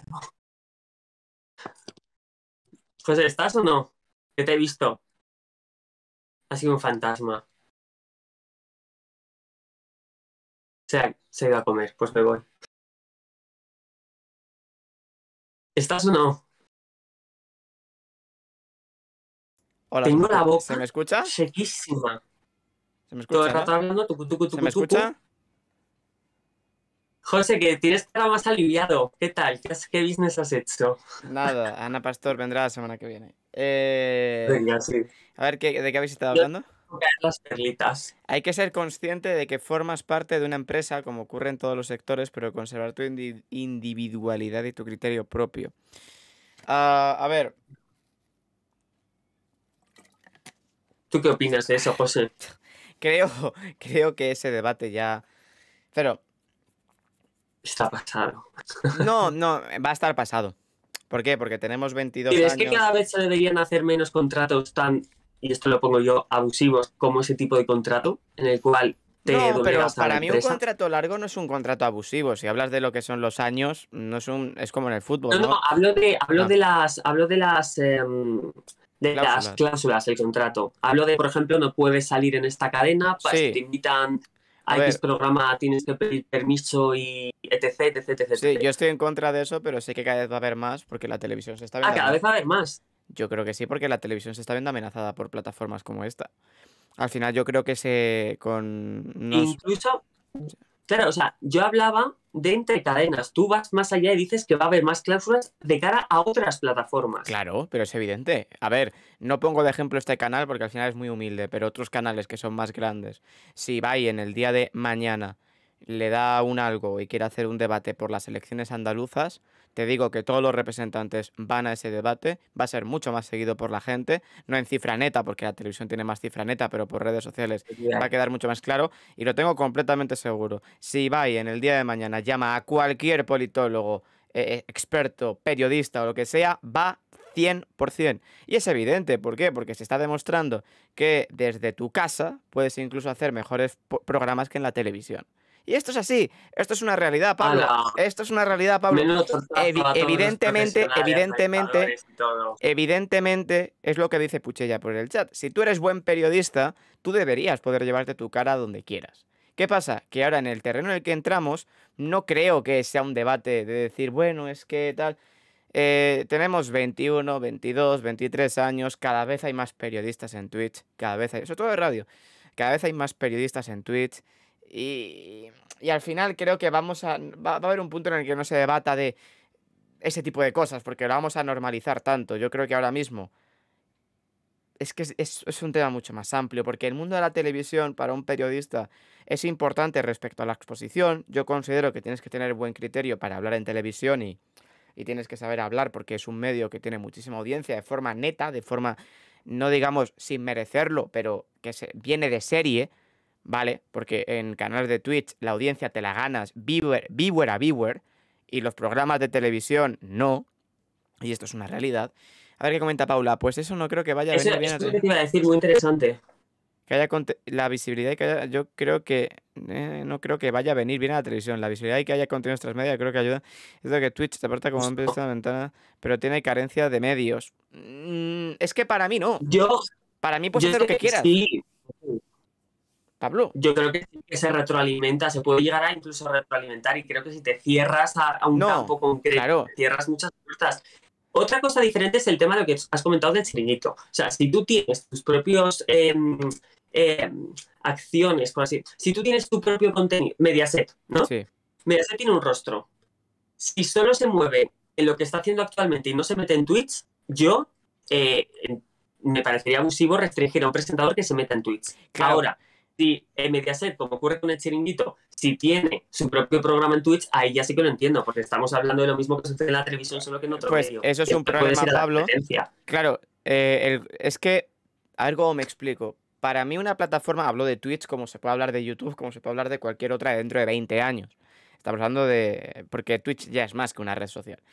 Evidentemente el contenido de transmedia es importante, sí, pero ahí estamos, estamos con un problema muy grave. Y no voy a hacer de profesor de periodismo local, ¿vale? No voy a hacer de profesor de periodismo local, una asignatura que no recuerdo ya casi, pero bueno, no voy a hacer abogado del diablo. Pero, eh, sí, aquí le metemos palo a todo el mundo, pero hay que ser honestos y, coherentes.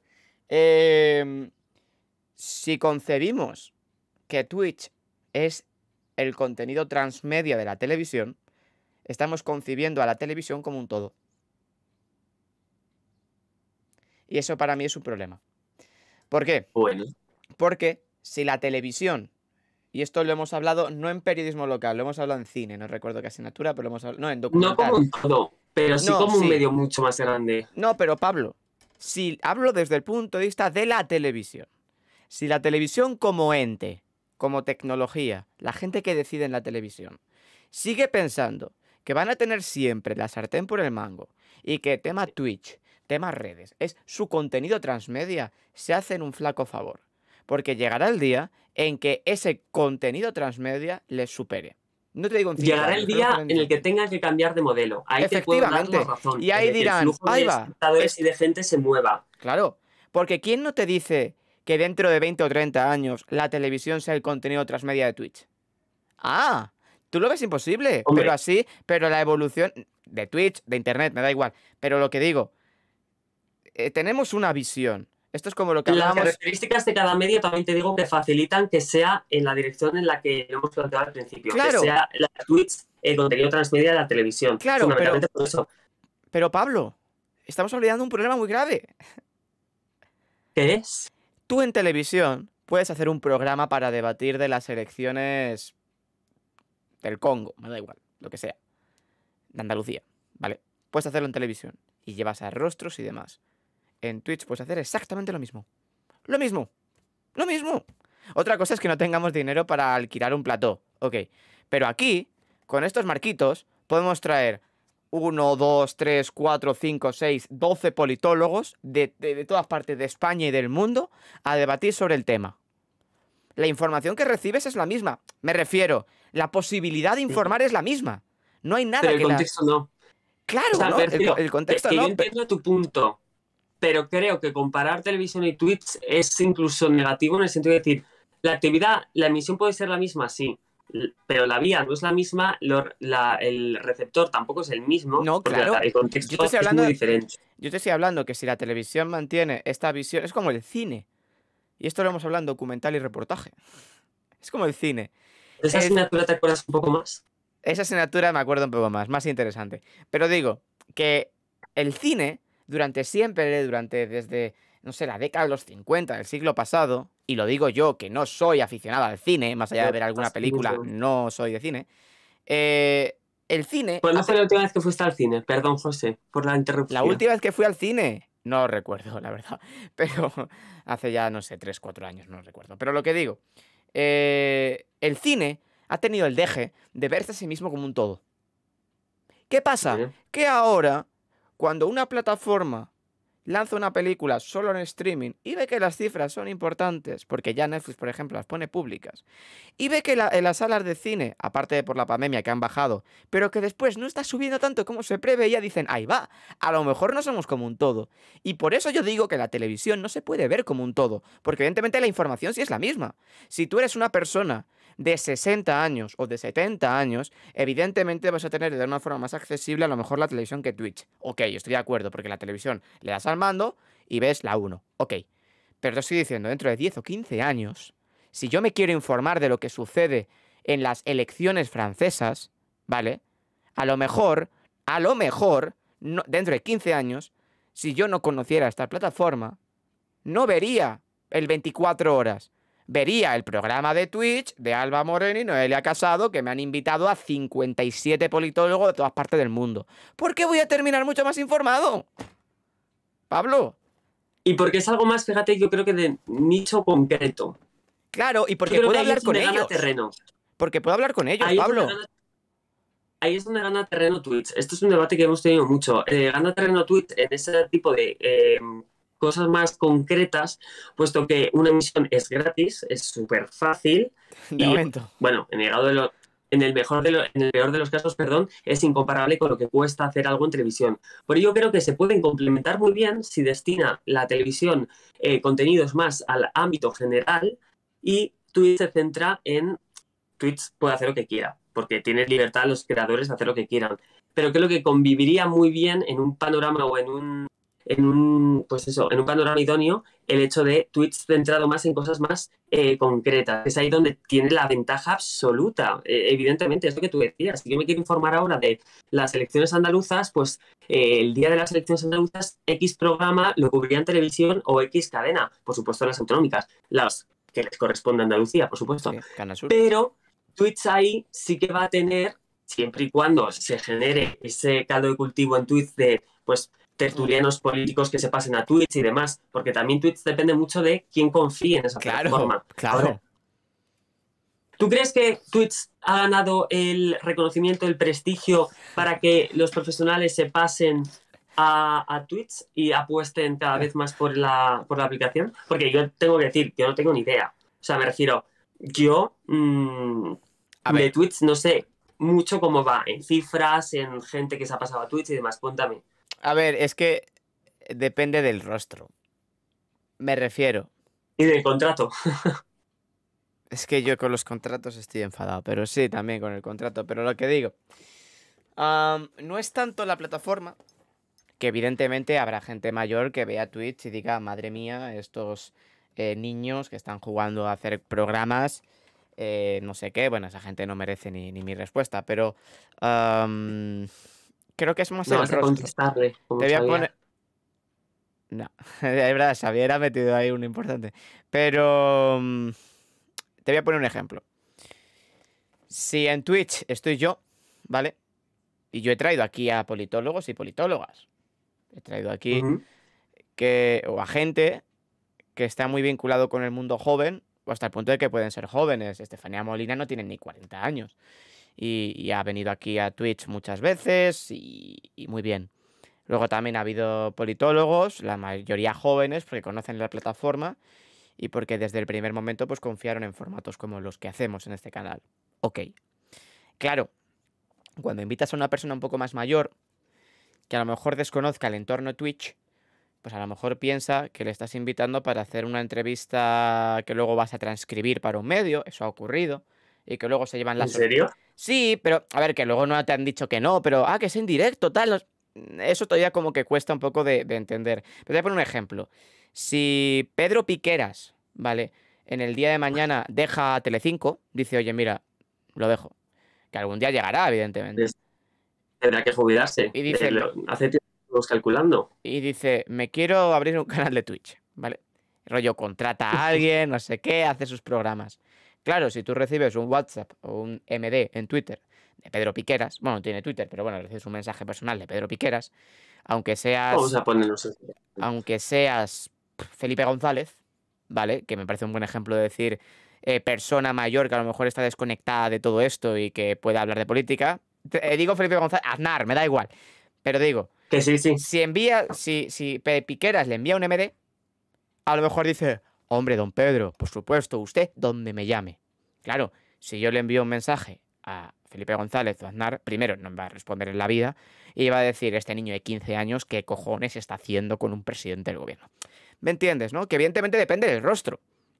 Y depende, por eso decimos que al final creo que estamos entrando en un contexto en el que los periodistas, y esto es interesante, nosotros no somos los protagonistas, pero estamos construyendo nuestras marcas. Pero no somos los protagonistas, Eso va vinculado a lo que hablábamos antes. Eso es importante, ¿eh? pero estamos El construyendo periodista las nunca marcas. es el protagonista. Claro, pero ¿dónde está la barrera entre periodista y creador de contenido? Claro, eh, Uh, Ah, amigo, ese es un debate que es súper interesante y también en el mundo de la televisión antes no existía, porque hace 15 años tú veías a Ani Gartiburu y tú la relacionabas instantáneamente con, con, con televisión española, con las galas, con programas importantes, con Corazón, etc.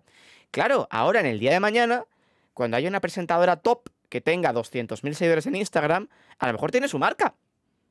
¿Me entiendes, no? De que a lo mejor Claro, el periodista no es, no es la noticia, salvo cuando la, la lía. bueno, depende de la marca que tengas, ¿no? Siempre puedes tener una marca informativa, claro, pero, pero, puramente informativa. pero ahí ya tu nombre es protagonista.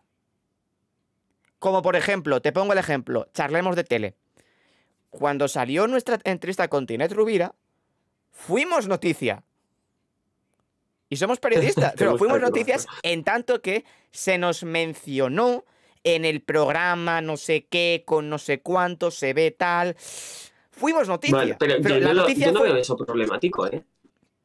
No lo veo problemático desde el punto de vista de la gente de nuestra generación que lo entiende bastante bien. De decir, pero de la gente más mayor, a lo mejor dice, hostia, quiere acaparar. Y eso la televisión no ha tenido tanto deje. Creo que son los más puristas los que pueden llegar a pensar eso.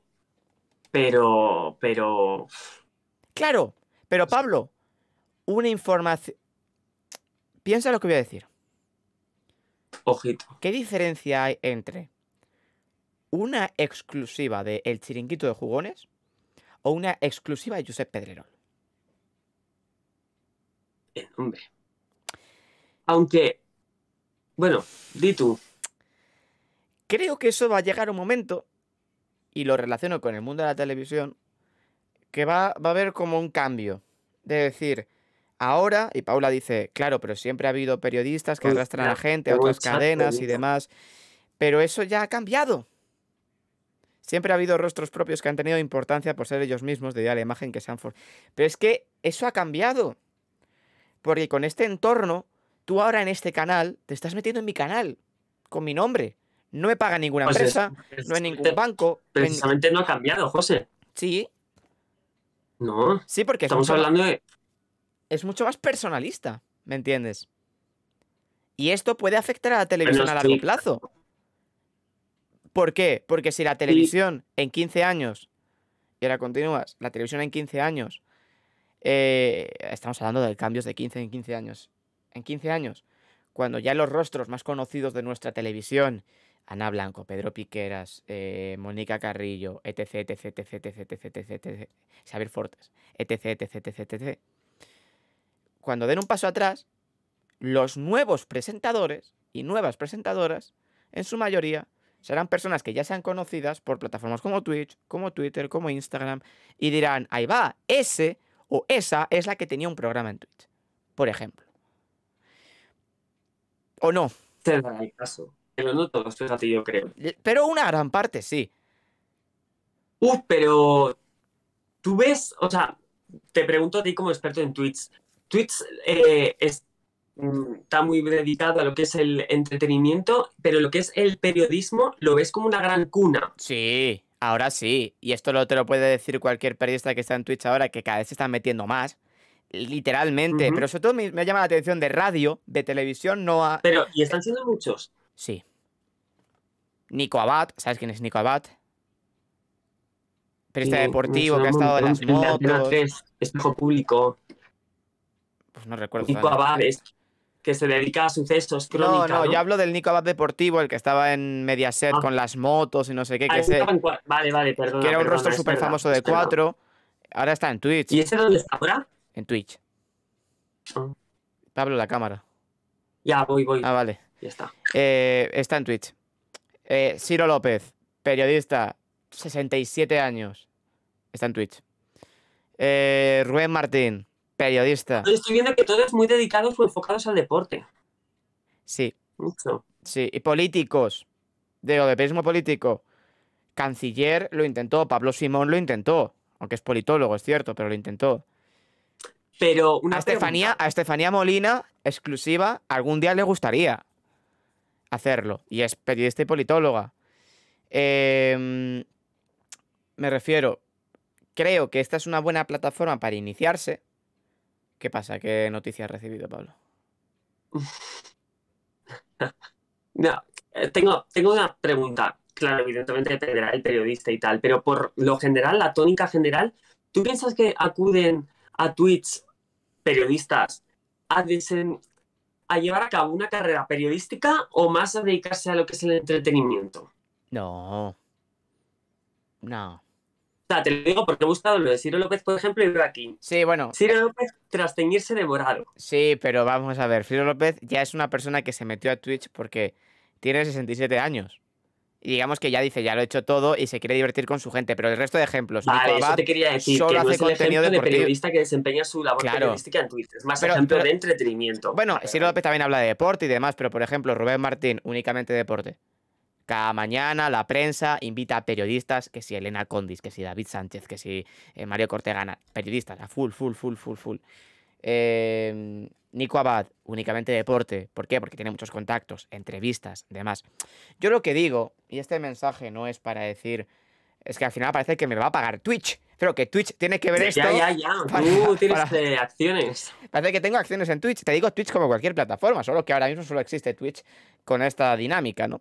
Em, claro, da una libertad. Ese, eso lo que digo es que el debate relacionado con la televisión es que algún día, Pablo, tendremos que traer aquí a la gente que mueve los hilos de la televisión. Tenemos que traer aquí al que lidera Tres Media, al que lidera Mediaset, al que lidera Te- Televisión Española. Y vamos a decir, vamos a hablar únicamente del trasvase del modelo. Ya está. No os voy a preguntar de vuestros programas. Os voy a preguntar qué tenéis pensado para que la televisión podría, ¿eh? Que también se podría, no, pero vamos a hacerlo. Dentro de 15 años, ¿qué vais a hacer para que la televisión siga como hasta ahora? Bueno, tal, vamos a seguir, no sé qué. No, ¿qué vais a hacer? Porque entonces os van a cobrar el turrón. Pablo. La pregunta que ahora es, ¿se habla de Twitch en los despachos? ¿En las comidas? En- Claro que se habla de Twitch. ¿se Claro que se habla de la mesa? Claro, claro que se habla de Twitch. Pero se ve como una amenaza y no como una ayuda. Es evidente. Es evidente, pero porque la gente lo desprecia. Mm, Sí, eh, de hecho, estoy pensando, estoy pensando. No hay ningún canal de televisión que tenga Twitch. No lo hay. Tiene la SER, tiene la COPE, tiene... eh, Tiene- Pero de televisión no hay. Tiene periódicos. ¿Sabes lo que pasa? Estoy pensando sobre todo en que ahora mismo las televisiones están inmersas, van con retraso, evidentemente, en eh, lanzar para que despeguen, terminen de despegar sus plataformas, ¿no? Eh, Claro, más de pero- transmedia contenido. Que estoy hablando, por ejemplo, de A3 Player, de mi Sí. tele. Entonces creo que a lo mejor ven como eh, competen- eh, mm, no competencia, pero como que le hacen flaco favor, evidentemente no es lo mismo, pero meterse también en esta otra variante de lo transmedia. Y de hecho creo que puede- esto ya es una locura, pero crear su propio Twitch, sus propias emisiones, así como está concebido Twitch, las emisiones y tal, Sí. en esos canales. El modelo de Twitch no se puede replicar en televisión, pero el modelo de la televisión sí que se puede replicar en Twitch. Ese es el principal problema. Ibai va a hacer este verano, o se supone, con Ramón García el Grand Prix. Tal y como ¿En era en la... Sí, ya lo anunciaron. Que va a regresar el Grand Prix como era antes, sin vaquillas, pero tal y como era antes. A eso te iba a preguntar, ¿con maquillas o sin maquillas? Sin vaquillas porque la ley lo impide, pero tal y como era antes, exactamente igual, y lo va a hacer en el Twitch de Ibai. Con la misma producción, mismo sitio, pueblo, demás. Sí, sí, y además ya lo dijo Ramón García a principios de año. Eh, bueno, tú eres el que está más metido en Twitch. Es histórico para Twitch una producción de ese estilo, ¿no? No. O sea, No, porque ha habido partidos de fútbol eh, con la misma realización, ha habido concurso. El First Days de Ibai lo hizo exactamente igual en Twitch, recuérdalo. bueno, sí, pero estamos hablando de un programa caro. O sea, me refiero que no es poner una mesa y juntar a cuatro Claro. y comentar. Pero los anunciantes van, los anunciantes van. Y los anunciantes Eso casi que eligen. también cuenta con anunciantes, además. Claro, Por supuesto. claro. Eh, la semana que viene es la velada. La velada del año 2, que es como la velada de boxeo de Ibai. Que es como el evento más seguido en Twitch del año. Bueno, me estás hablando en chino. Los globos. El año pasado fue el Mundial de Globos. Eso lo recordarás, ¿no? Que estuvo Piqué, tal. Una audiencia de millones Algo de personas. suena. Pues la semana que viene es la velada. Piqué- Piqué colabora mucho con él, ¿no? Claro. Es socio de, de- de su equipo. Eh, ¿Cómo que es su equipo? Bueno, de otro- productor. O sea, no, no, otro día te hago clases. Pero Ibai y Piqué tienen un equipo de esports que se llama COI. Pero bueno, aparte de eso. Eh, la semana que viene es la velada. La velada del año 2. Te puede costar fácil 3 millones de euros. Pero tiene patrocinadores, tiene anunciantes, demás. ¿Qué pasa? Han alquilado el Palau de Badalona, capacidad para 10.000 personas, 15.000 personas, lo van a llenar, las entradas se agotaron en dos minutos. Pregunta así tonta. ¿Con qué lo retransmiten, perdón? ¿Cómo que con qué? Me refiero con cámara profesional Sí, o claro. con Claro, como la velada 1. multicámara y todo. O Sí, sea, sí, sí, sí, como una velada televisión. Claro. Lo que tú comentabas. Pura y dura, pura y dura. Solo que, solo, pues gente del mundo de Twitch y de YouTube y no sé quién y este influencer. Va a ir todos los influencers de España y muchos de Latinoamérica.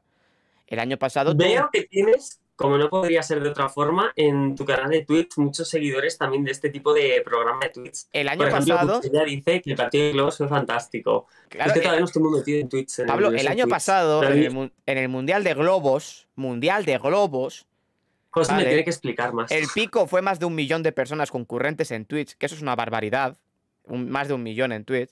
Ganó un peruano y el presidente de Perú le dio la enhorabuena.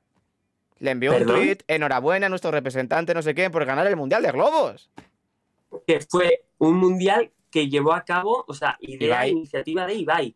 Claro, Ibai con Piqué. Y lo hicieron en el parque este de Barcelona, que es muy famoso, el... Bueno, No, no, el, el- el que es- no es un parque de atracciones, el, el de toda la vida, el...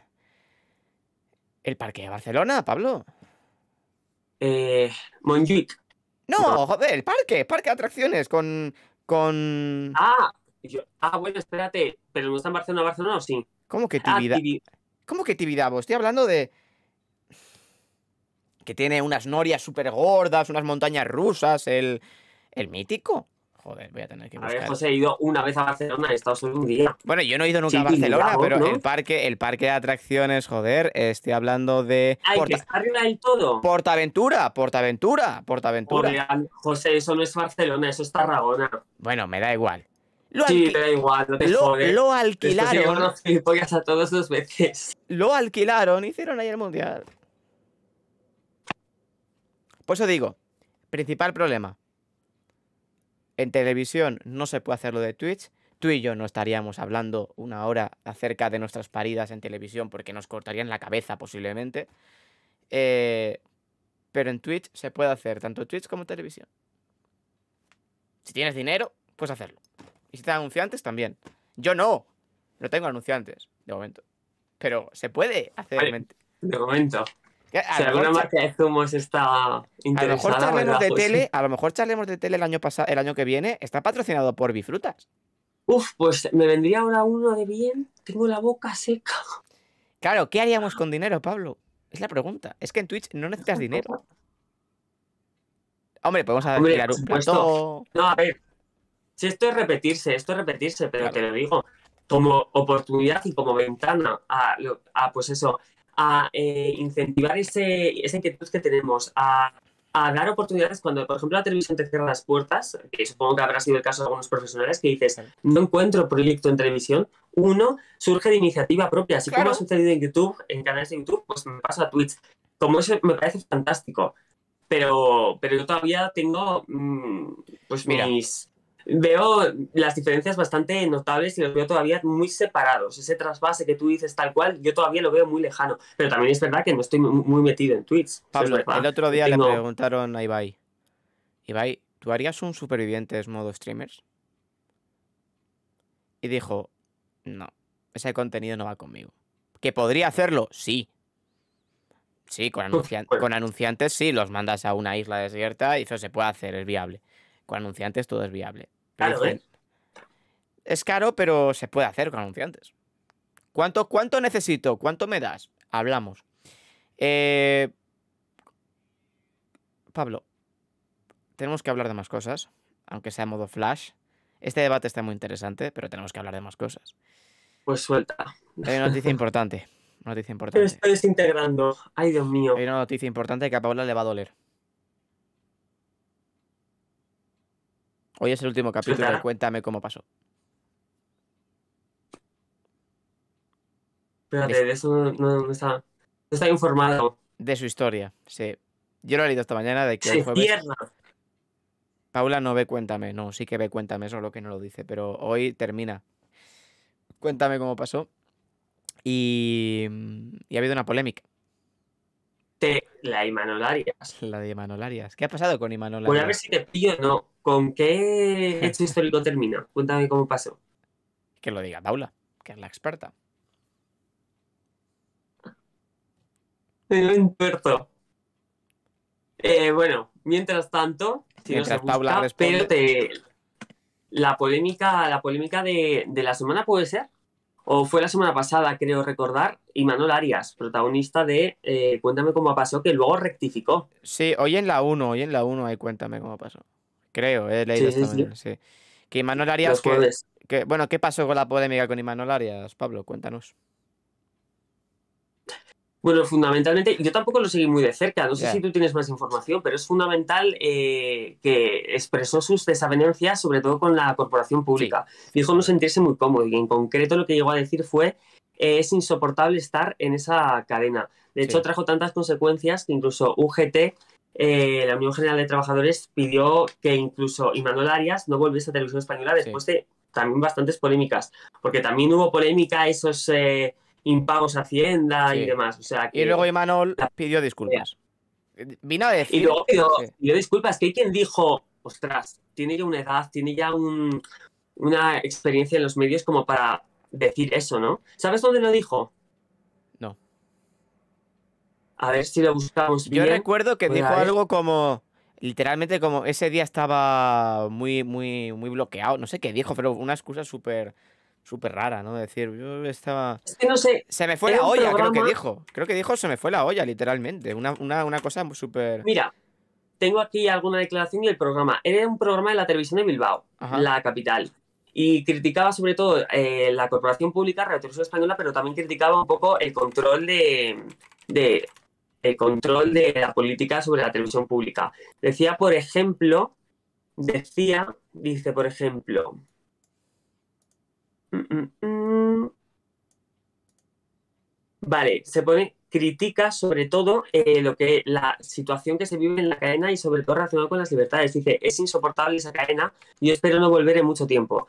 a nada público en este país. Es insoportable. Y no te quepa duda de que siempre que vengo a tu programa suelto alguna bomba. Desde luego la soltó, porque luego rectificó. ¿Cuándo rectificó, José? Horas después, yo creo, rectificó efectivamente, literalmente dijo, se me fue la olla. Pero estamos hablando. Y lo dijo. Mm, mm, mm, ah, ¿Dónde lo he dicho? Asegurada la actora, a lo mejor en un comunicado, ¿no? Ah, me pasé tres pueblos. Es que dijo declaraciones también contundentes como desde que en el primer capítulo de esta temporada salió Narcis Serra, que es histórico en Moncloa, diciendo que sacaron al médico para justificar la muerte de una etarra para evitarlo de Roldán. Alguien del Consejo de Administración Socialista, mujer que cobra 7.500 euros al mes, dijo hay que cortarles la cabeza a estos, porque es una historia que es muy mala para el PSOE. O sea, dijo ah. que fue precisamente esta mujer la que eh, acabó, eh, le pegó el tijeretazo final a Cuéntame cómo pasó. Sí, pero digamos que sí que se fue un poco, en las declaraciones. Que sí que se le fue un poco, digamos, las declaraciones un poco heavy, ¿no? Eso lo dicen charlemos de tele y ya nos cancelan de por vida. No, porque aquí hay libertad, José. Tú lo has dicho. Pablo, aquí no dependemos de nada ni de nadie. Que dependemos de nuestros espectadores, evidentemente. Eh, Pablo, ¿qué más noticias tenemos hoy? Más noticias. Época, hemos vivido una época un poco convulsa en televisión, estamos todavía en ello. Época de cancelaciones de programas históricos, tanto en televisión española con España Directo, un programa marca e insignia de la casa que da eh, el cierre definitivamente, y uno que se dijo que lo iba a echar, pero finalmente no. Ese es corazón, José. ¿Por qué no? ¿Tienes información? Tengo información de primera mano. Además, está con nosotros Ani Gartiburu. Muy buenas noches. Bueno, buenos días. No. Buenas noches, no. Buenos días. Buenas tardes. Es que estoy en modo Xavier Fortes. Eh, lo que digo. ya. Eh, ¿Qué pasó con Corazón en televisión española? Televisión española filtró que quería cortar con España Directo y con Corazón. España Directo se ha acabado y con corazón, con corazón parecía que también. ¿Qué pasa? A las 24 horas de esta noticia, que fue aproximadamente hace dos semanas, tuvieron una reunión con Ani Gartiburu. Y justo al terminar la reunión dijeron, no, no lo vamos a cancelar. Ahora, mi lectura, mi opinión, más allá de la información, es que en esa reunión tuvo que ser muy franca Ani Gartiburu, de decir, a ver, si vamos a cortar el formato en el que he estado yo siempre y mi formato, yo ya no tengo mucho sentido en esta cadena. Yo creo que hubo un ultimátum de Anigartiburu desde mi punto de vista. ¿Tú crees? Sí, porque si no, no es tan categórico de qué casualidad. 24 horas, reunión, súper rápido, justo al terminar la reunión. No, no, no, no, no, no, no vamos a cancelar corazón. Yo aquí vi una recogida de cable porque Televisión Española es consciente de que Ani Gartiburu, aparte del programa que tiene, también presenta las grandes galas y los grandes eventos y es muy querida por la gente. Claro, si Ani Gartiburu te dice, oye, me voy a otra cadena. Tú me dejas, me voy. Ahí Televisión Española dijo, hostia, no estamos ahora como para perder, ¿no? Rostros importantes de la cadena. Encima ahora que nos hemos gastado una millonada en, en otros formatos. Yo creo que hubo recogida de cable. Evidentemente, Televisión Española nunca lo va a reconocer lógico. Pero llamativo. Cosas que se quedan en despachos. Tendríamos que tener topos para que nos filtrasen info. Claro, es como la de Tinet. Qué casualidad que a las 24 horas se dijo que no iba a renovar Operación Triunfo.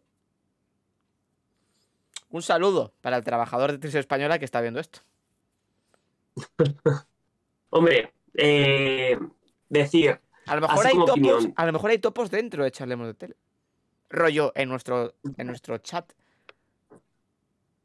¿Tú crees? A lo mejor alguien que bueno, teníamos. Tenemos de vez en cuando algún periodista, ¿eh? Por aquí, rondando. Sí. ¿Puedes desactivar y activar la cámara? ¿Quién? Tú. ¿Pero para qué? Porque vas, vas muy cortado. A ver si así muy mejor. Uf, estás robótico, ¿eh? Espérate, vamos a intentar, vamos a... Sí, mientras, yo charlo con Paula, me habéis descubierto, bueno, Paula es exdirectora de Distrito 51. Hola, Pablo, ¿me ves? Ya está, ¿no? Vas con retraso. Estoy en Canarias. ¿No has visto este color? Pablo, por favor. que hemos entrevistado a gente de Canarias. No, eh, algo Oye, más. Maravilloso. Da- Clima, da tu- pero también tiene una hora menos. Da tu opinión, por favor. Eh, opinión. Uf, eh, bueno, esto también va a la par que otra serie de cancelaciones de programas que creo que la televisión, comentábamos hace ya unos meses que estaba perdiendo mucha audiencia en lo que son, eh, en términos cuantitativos, se ha perdido mucha, eh, espectadores totales como tal. Y, mm, y se están empezando a hacer cambios. Estos ah, son, ah, han sido algunos de ellos. A mí me da mucha pena, sobre todo España Directo, un formato fresco de que mezclaba pues ese entretenimiento, ese servicio público, también incluía esa ventana a la política, pero es verdad que eh, bueno, tenía fuertes competidores, nos encontramos con cuatro al día. Y también co- Uy. Bueno, hemos, perdido, hemos perdido, hemos perdido a Pablo, se nos ha ido por completo. Por lo tanto, si me está escuchando, que no lo sé, por favor, entra y sal de Discord. Eh, porque, porque le hemos perdido. Pero ha empezado a hablar de España Directo y se la ha cortado, yo no digo nada. Pero bueno, sí, no, Pablo estaba comentando que España Directo cierra, ese formato mítico de la televisión de nuestro país. Eh, wait, Pablo, no. No, no, sal y entra si puedes, de Discord. Eh, pero eso, es una pena, ¿no? La pérdida de un formato como España Directo que tiene que dar info exclusiva de dos cancelaciones. Habla tú que ahora vuelvo con la última hora, sí, la última hora. No, pero lo que iba a decir, eh, España Directo tenía como rival principal a 4 al día. En 4, rollo, ese tipo de magazine, también evidentemente con más vale tarde. Y la verdad que yo no he entendido mucho la decisión, porque creo que ese tipo de programas como que basa su audiencia más en la fidelidad, en el día a día, en acompañar a la gente. Es un programa muy querido, España Directo, así como también Madrid Directo. Bueno, es una pena, ¿no? Que, pe- que perdamos esta clase de programas. A lo mejor algún día los podemos ver en plataformas como Twitch, quién sabe, porque se presta mucho a eso. Eh, realmente parece que me va a pagar Twitch, pero no. Hablo de Twitch como puedo hablar de cualquier otro, pero es que solo existe Twitch. Lo repito. Pero bueno, es una pena. Es una pena, ¿no? Mm, a ver si Pablo. Pablo se ha caído por completo. Pablo, Pablo ahora mismo. Bueno, os voy a mostrar cómo se ha quedado Pablo. Pero ahora mismo se ha quedado petri. Justo se. Eh, se, se había quedado un poco petrificado. Y no hay muchas más noticias, ¿no? Ha habido terremoto televisivo por esa parte. Ay, ¿qué más? ¿Qué más? ¿Qué más? ¿Qué más? Hombre, desde el último programa hemos quedado terceros en Eurovisión. Un saludo a Chanel. Ah, enhorabuena. Mm, ¿qué más? ¿Qué más? ¿Qué más? ¿Qué más? Ah, mira, ha vuelto Pablo.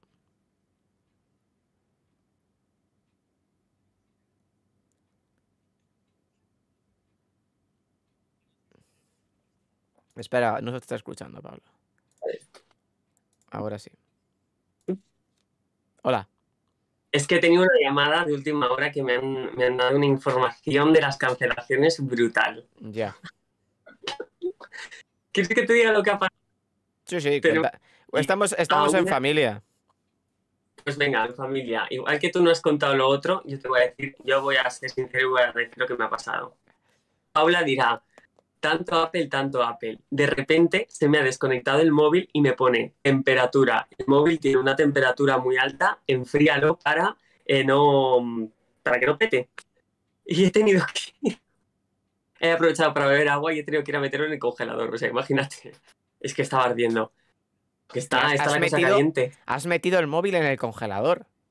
¿Ves? Hijo, sí, Esto en la televisión, eso en la televisión no sucede. Solución extrema. Pero a mí lo del calor sí que me había pasado alguna vez lo de la temperatura. Pero hay a quien se le apaga con el frío. Que el móvil hay que hacer unas temperaturas con frío, muy frías y no funciona. Sí, Sí, sí, bueno, sí. yo me imagino a gente que esté en tu casa diciendo, bueno, hay un móvil, ¿no? Eh, Hay un móvil con Discord abierto en el congelador. Bueno, está bien, ¿no? La verdad, creo que muy bien. A mí el Filomena se- Puedo soltar entonces la información, ¿verdad? Sí, nos quedan dos minutos de programa. Vale, pues la voy a soltar Que rápidamente. los anunciantes nos están diciendo que cortemos. Que hay que anunciar mis frutas. Bueno, pues eh, además de esas dos cancelaciones en televisión española, nuevas cancelaciones, donde parece que va bien la cosa es en Antena 3, porque ahí de momento la cosa se mantiene, nuevas cancelaciones y nuevos programas para Telecinco. Telecinco atraviesa una crisis de audiencia muy profunda y se ha cancelado Viva la Vida, que al principio se rumoreó, se dijo que en agosto iban a hacer un descanso estival y que luego volvería. Bueno, pues definitivamente por lo que nos parece, mm, por lo que nos llega también de fuentes confirmadas de auténticos periodistas especializados en televisión, es que eh, debido a motivos de tema de contrato, el contrato que tenía con la productora, cesa en el mes de julio y por consiguiente van a trasladar, a desplazar la producción de ese programa a otra, que es la de Unicorn Content, que es la productora de Ana Rosa Quintana. Se va a hacer cargo de un programa de corte no sé si similar, si está trazando todavía cómo será ese formato, pero desde luego Viva la Vida se suprimirá.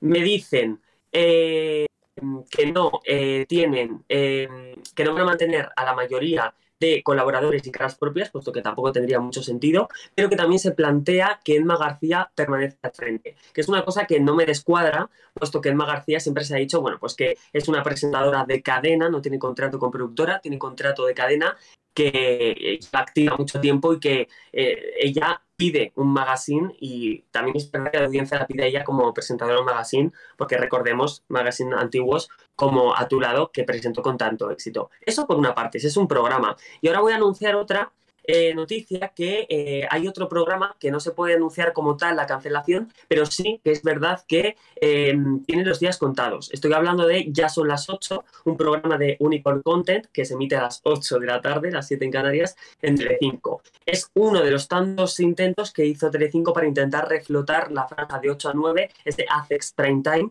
para mejorar lo que es el arrastre de espectadores en informativo y para hacer frente al imbatible pasapalabra. Habrá que ver, porque han probado con muchas cosas. Ahora se dice que han probado con eh, un nuevo rostro de cadena que le quitaron a Televisión Española, John Aramendi. Están muy contentos con el programa piloto que han grabado, aunque todavía no se ha dado luz verde a ese proyecto. Pero pues, ese programa tiene, contadas los, tiene contados los días, puesto que el contrato con la productora que repito es único content, termina en julio. Ya ha habido un ultimátum de o mejoran la audiencia o eh, este programa se cancela porque no está cumpliendo con los requisitos, está bajando de la barrera del millón de espectadores, que para esa franja es un poco eh, bastante lastimoso y además también se queda en un dígito algunas veces. Es cierto que ha cometido cambios como fichar a eh, periodistas como Sol Macaluso, también lo que respecta a la farándula, pero también periodistas Alexia Rivas, Cristina Porta.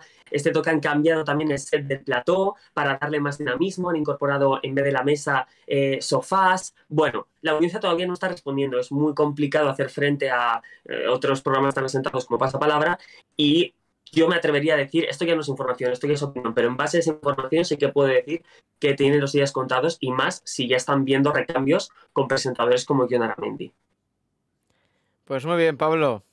Muy buenas informaciones que nos has dado. Te la información fresquita, ¿eh? Muy bien. Nunca mejor dicho porque has metido el móvil en el congelador, como todo el mundo sabe. Eh, en principio, Pablo, este es el último programa de la temporada. Siempre digo en principio porque quién sabe lo que puede ocurrir? Es que a lo mejor nos sale la semana que viene una Ana Pastor. No voy a decir más nombres. Sobre, todo, sobre todo Ana Pastor va a venir la semana que viene, efectivamente. Pero, eh, bueno, pues podría, podría hablar de muchas cosas, entre ellas de esa última temporada emitida del Objetivo, si habrá renovación o no, de los Borbones, de Neutral, como lo ve. Efectivamente. Eh, de los Borbones, ojito, podemos traer a los dos. Dice Paula, por cierto, perdona, eh, muy buen programa, enhorabuena una vez más y una temporada más. Eh, tengo que decir una cosa, gracias sobre todo a vosotros que estáis ahí, que nos seguís, y también en concreto y en especial a Paula, que el anterior programa hizo de cámara y estuvo ahí, así que nada, un besazo enorme. Y además... Que son 15 o 16, ¿cuántos programas llevamos? Que siempre me lío. Este es el programa 15 de la segunda temporada. 15. Y además, que Paula y más gente del chat que son espectadores típicos, ¿no? De Charlemos de Tele, habituales, pues que sepan que hay casting para copresentar Charlemos de Tele, porque Pablo... el año que, porque en septiembre me tienes. Porque Pablo el año que viene a lo mejor no está con nosotros. A lo mejor es más despedido. Moreno. No, perdona, guapo, en septiembre vuelvo más moreno, pero... A lo, mejor, a lo mejor es despedido por no cumplir con el código ético de este programa, el cual es un código ético muy duro y por lo tanto eh, vamos a abrir un formulario en Google, ¿vale? Para buscar una persona que sea respetuosa con el código ético de- del programa. Tengo capacidad de decisión para elegir a mi sucesora. Recuerda que en el último programa del año pasado entró Paula por teléfono, entraron tus amigas y demás, porque era un día importante para ti. Porque empezabas en un programa que ya no existe. Por lo tanto, Eh, eh, Pablo... oye, de momento existe. Es verdad, ¿quién me lo iba a decir? eh? Sí, ¿quién va a decir que un año después ibas a anunciar la muerte de Viva la Vida después de haber trabajado en Viva la Vida? ¿no? Es, es paradójico, es la hipotenusa. Pero bueno, quién sabe qué es lo que suceda en el futuro. Lo que sí sé es que seguiremos en este canal. guerra por Twitch. En este A ver si conseguimos patrocinadores, anunciantes. A ver si hacemos algo. Sí, porque para pagar al nuevo o a la nueva copresentadora voy a necesitar algún patrocinador. Remunerado. Será Efe- remunerado, ¿no? Efectivamente, será remunerado. Eh, la semana que viene tenemos más contenido. No sé si antes habrá. José no para, José no para. Pero la semana que viene, el martes, a lo mejor tenemos hay que verlo. Y el miércoles tendremos a las 12 de la mañana, más o menos, a una deportista. Una deportista. Una deportista. A las 12 de la mañana.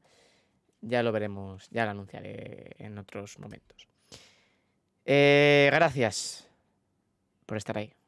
Como dice, no sé quién lo dice, pero gracias por estar ahí y buenas noches. Y buenas tardes. No, en verdad no, en verdad no, en verdad no nos vamos, Pablo, porque hay que hablar de más noticias. Hay que hablar de más, hay que hablar de más noticias. ¿Y de qué quieres que hablemos? Ay, ay, qué mona. Charlemos de tele. Ha sido Renovado por una tercera temporada. una tercera temporada. Volveremos en septiembre, si no volvemos antes. Volveremos en septiembre. Es verdad que la porra ha estado desierta, porque solo hicimos un mes, y eso no cuenta. Pablo, eso no cuenta, lo Y- siento. No cuenta. No, no cuenta. En el contrato ponía mínimo de tres porras. Ha habido una. A Pablo déjale ir a comer, que es de horarios tempranos. Pues ahora, esa es la noticia. ¿Por qué Charlemos de perdiendo tú? Además, tengo que decir una cosa, aprovecho, ya que es un programa así contenedor, que vamos a, hablamos de todo, es familiar. eh, es que esta tarde tengo la graduación de mi hermano. Ojo, cuidado. Enhorabuena. Enhorabuena desde aquí a Miguel.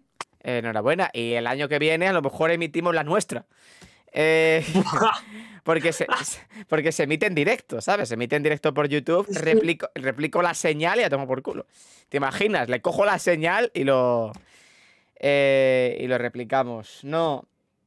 Volveremos. O no. O quién sabe. No, no, no te eches. Aquí yo tengo, yo tengo, yo quiero hacer una entrevista. Ah, solo sé que hace calor. ¿Una entrevista? Pues dime a quién.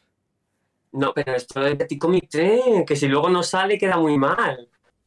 Y mínimo tengo que decir una cosa y me comprometo. eh, hay que hacer la mesita de televisión española, ¿eh? Porque Sí. es que ya Ya lo dijimos Eh, el año pasado lo- y todavía nos lo están este día hay que hacer cuenta atrás, pero de días. O sea, quedan 15 días, quedan 14 días. Bueno, Ese día, bueno. Haremos esa cuenta atrás cuando venga aquí ese debate que vamos a hacer algún día entre Matías Prats y Pedro Piqueras. Uy. Eh, yo te puedo conseguir a dos, que son parecidos. Pedro Boqueras y Matías Braz. No sé si pero yo creo que podemos hacerlo. ¿eh? Al primero que venga en septiembre le decís sí o sí que era quien tanto esperabais y quedáis como reyes. Mira, hay que ser honestos. En este programa muchas veces las cosas no salen bien. Es más, la mayoría. A veces se te queda aquí en el móvil, se te queda con una temperatura altísima y tienes que meterlo al congelador, las cámaras no van. Pero lo que sí tenemos es dignidad. Pablo, enhorabuena por esta segunda temporada. Igualmente, José, que 15 programas has dicho, hemos tenido entrevistas, hemos tenido audiencias, de todo. Así que la próxima, más y mejor. Nos vemos. Adiós. Chao. No hay nada más que añadir. Hace, ¡Feliz verano! hace 40 grados en la sombra. Vamos a morirnos. Hace calor Chao. Chao, chao, chao, chao. que desintegro.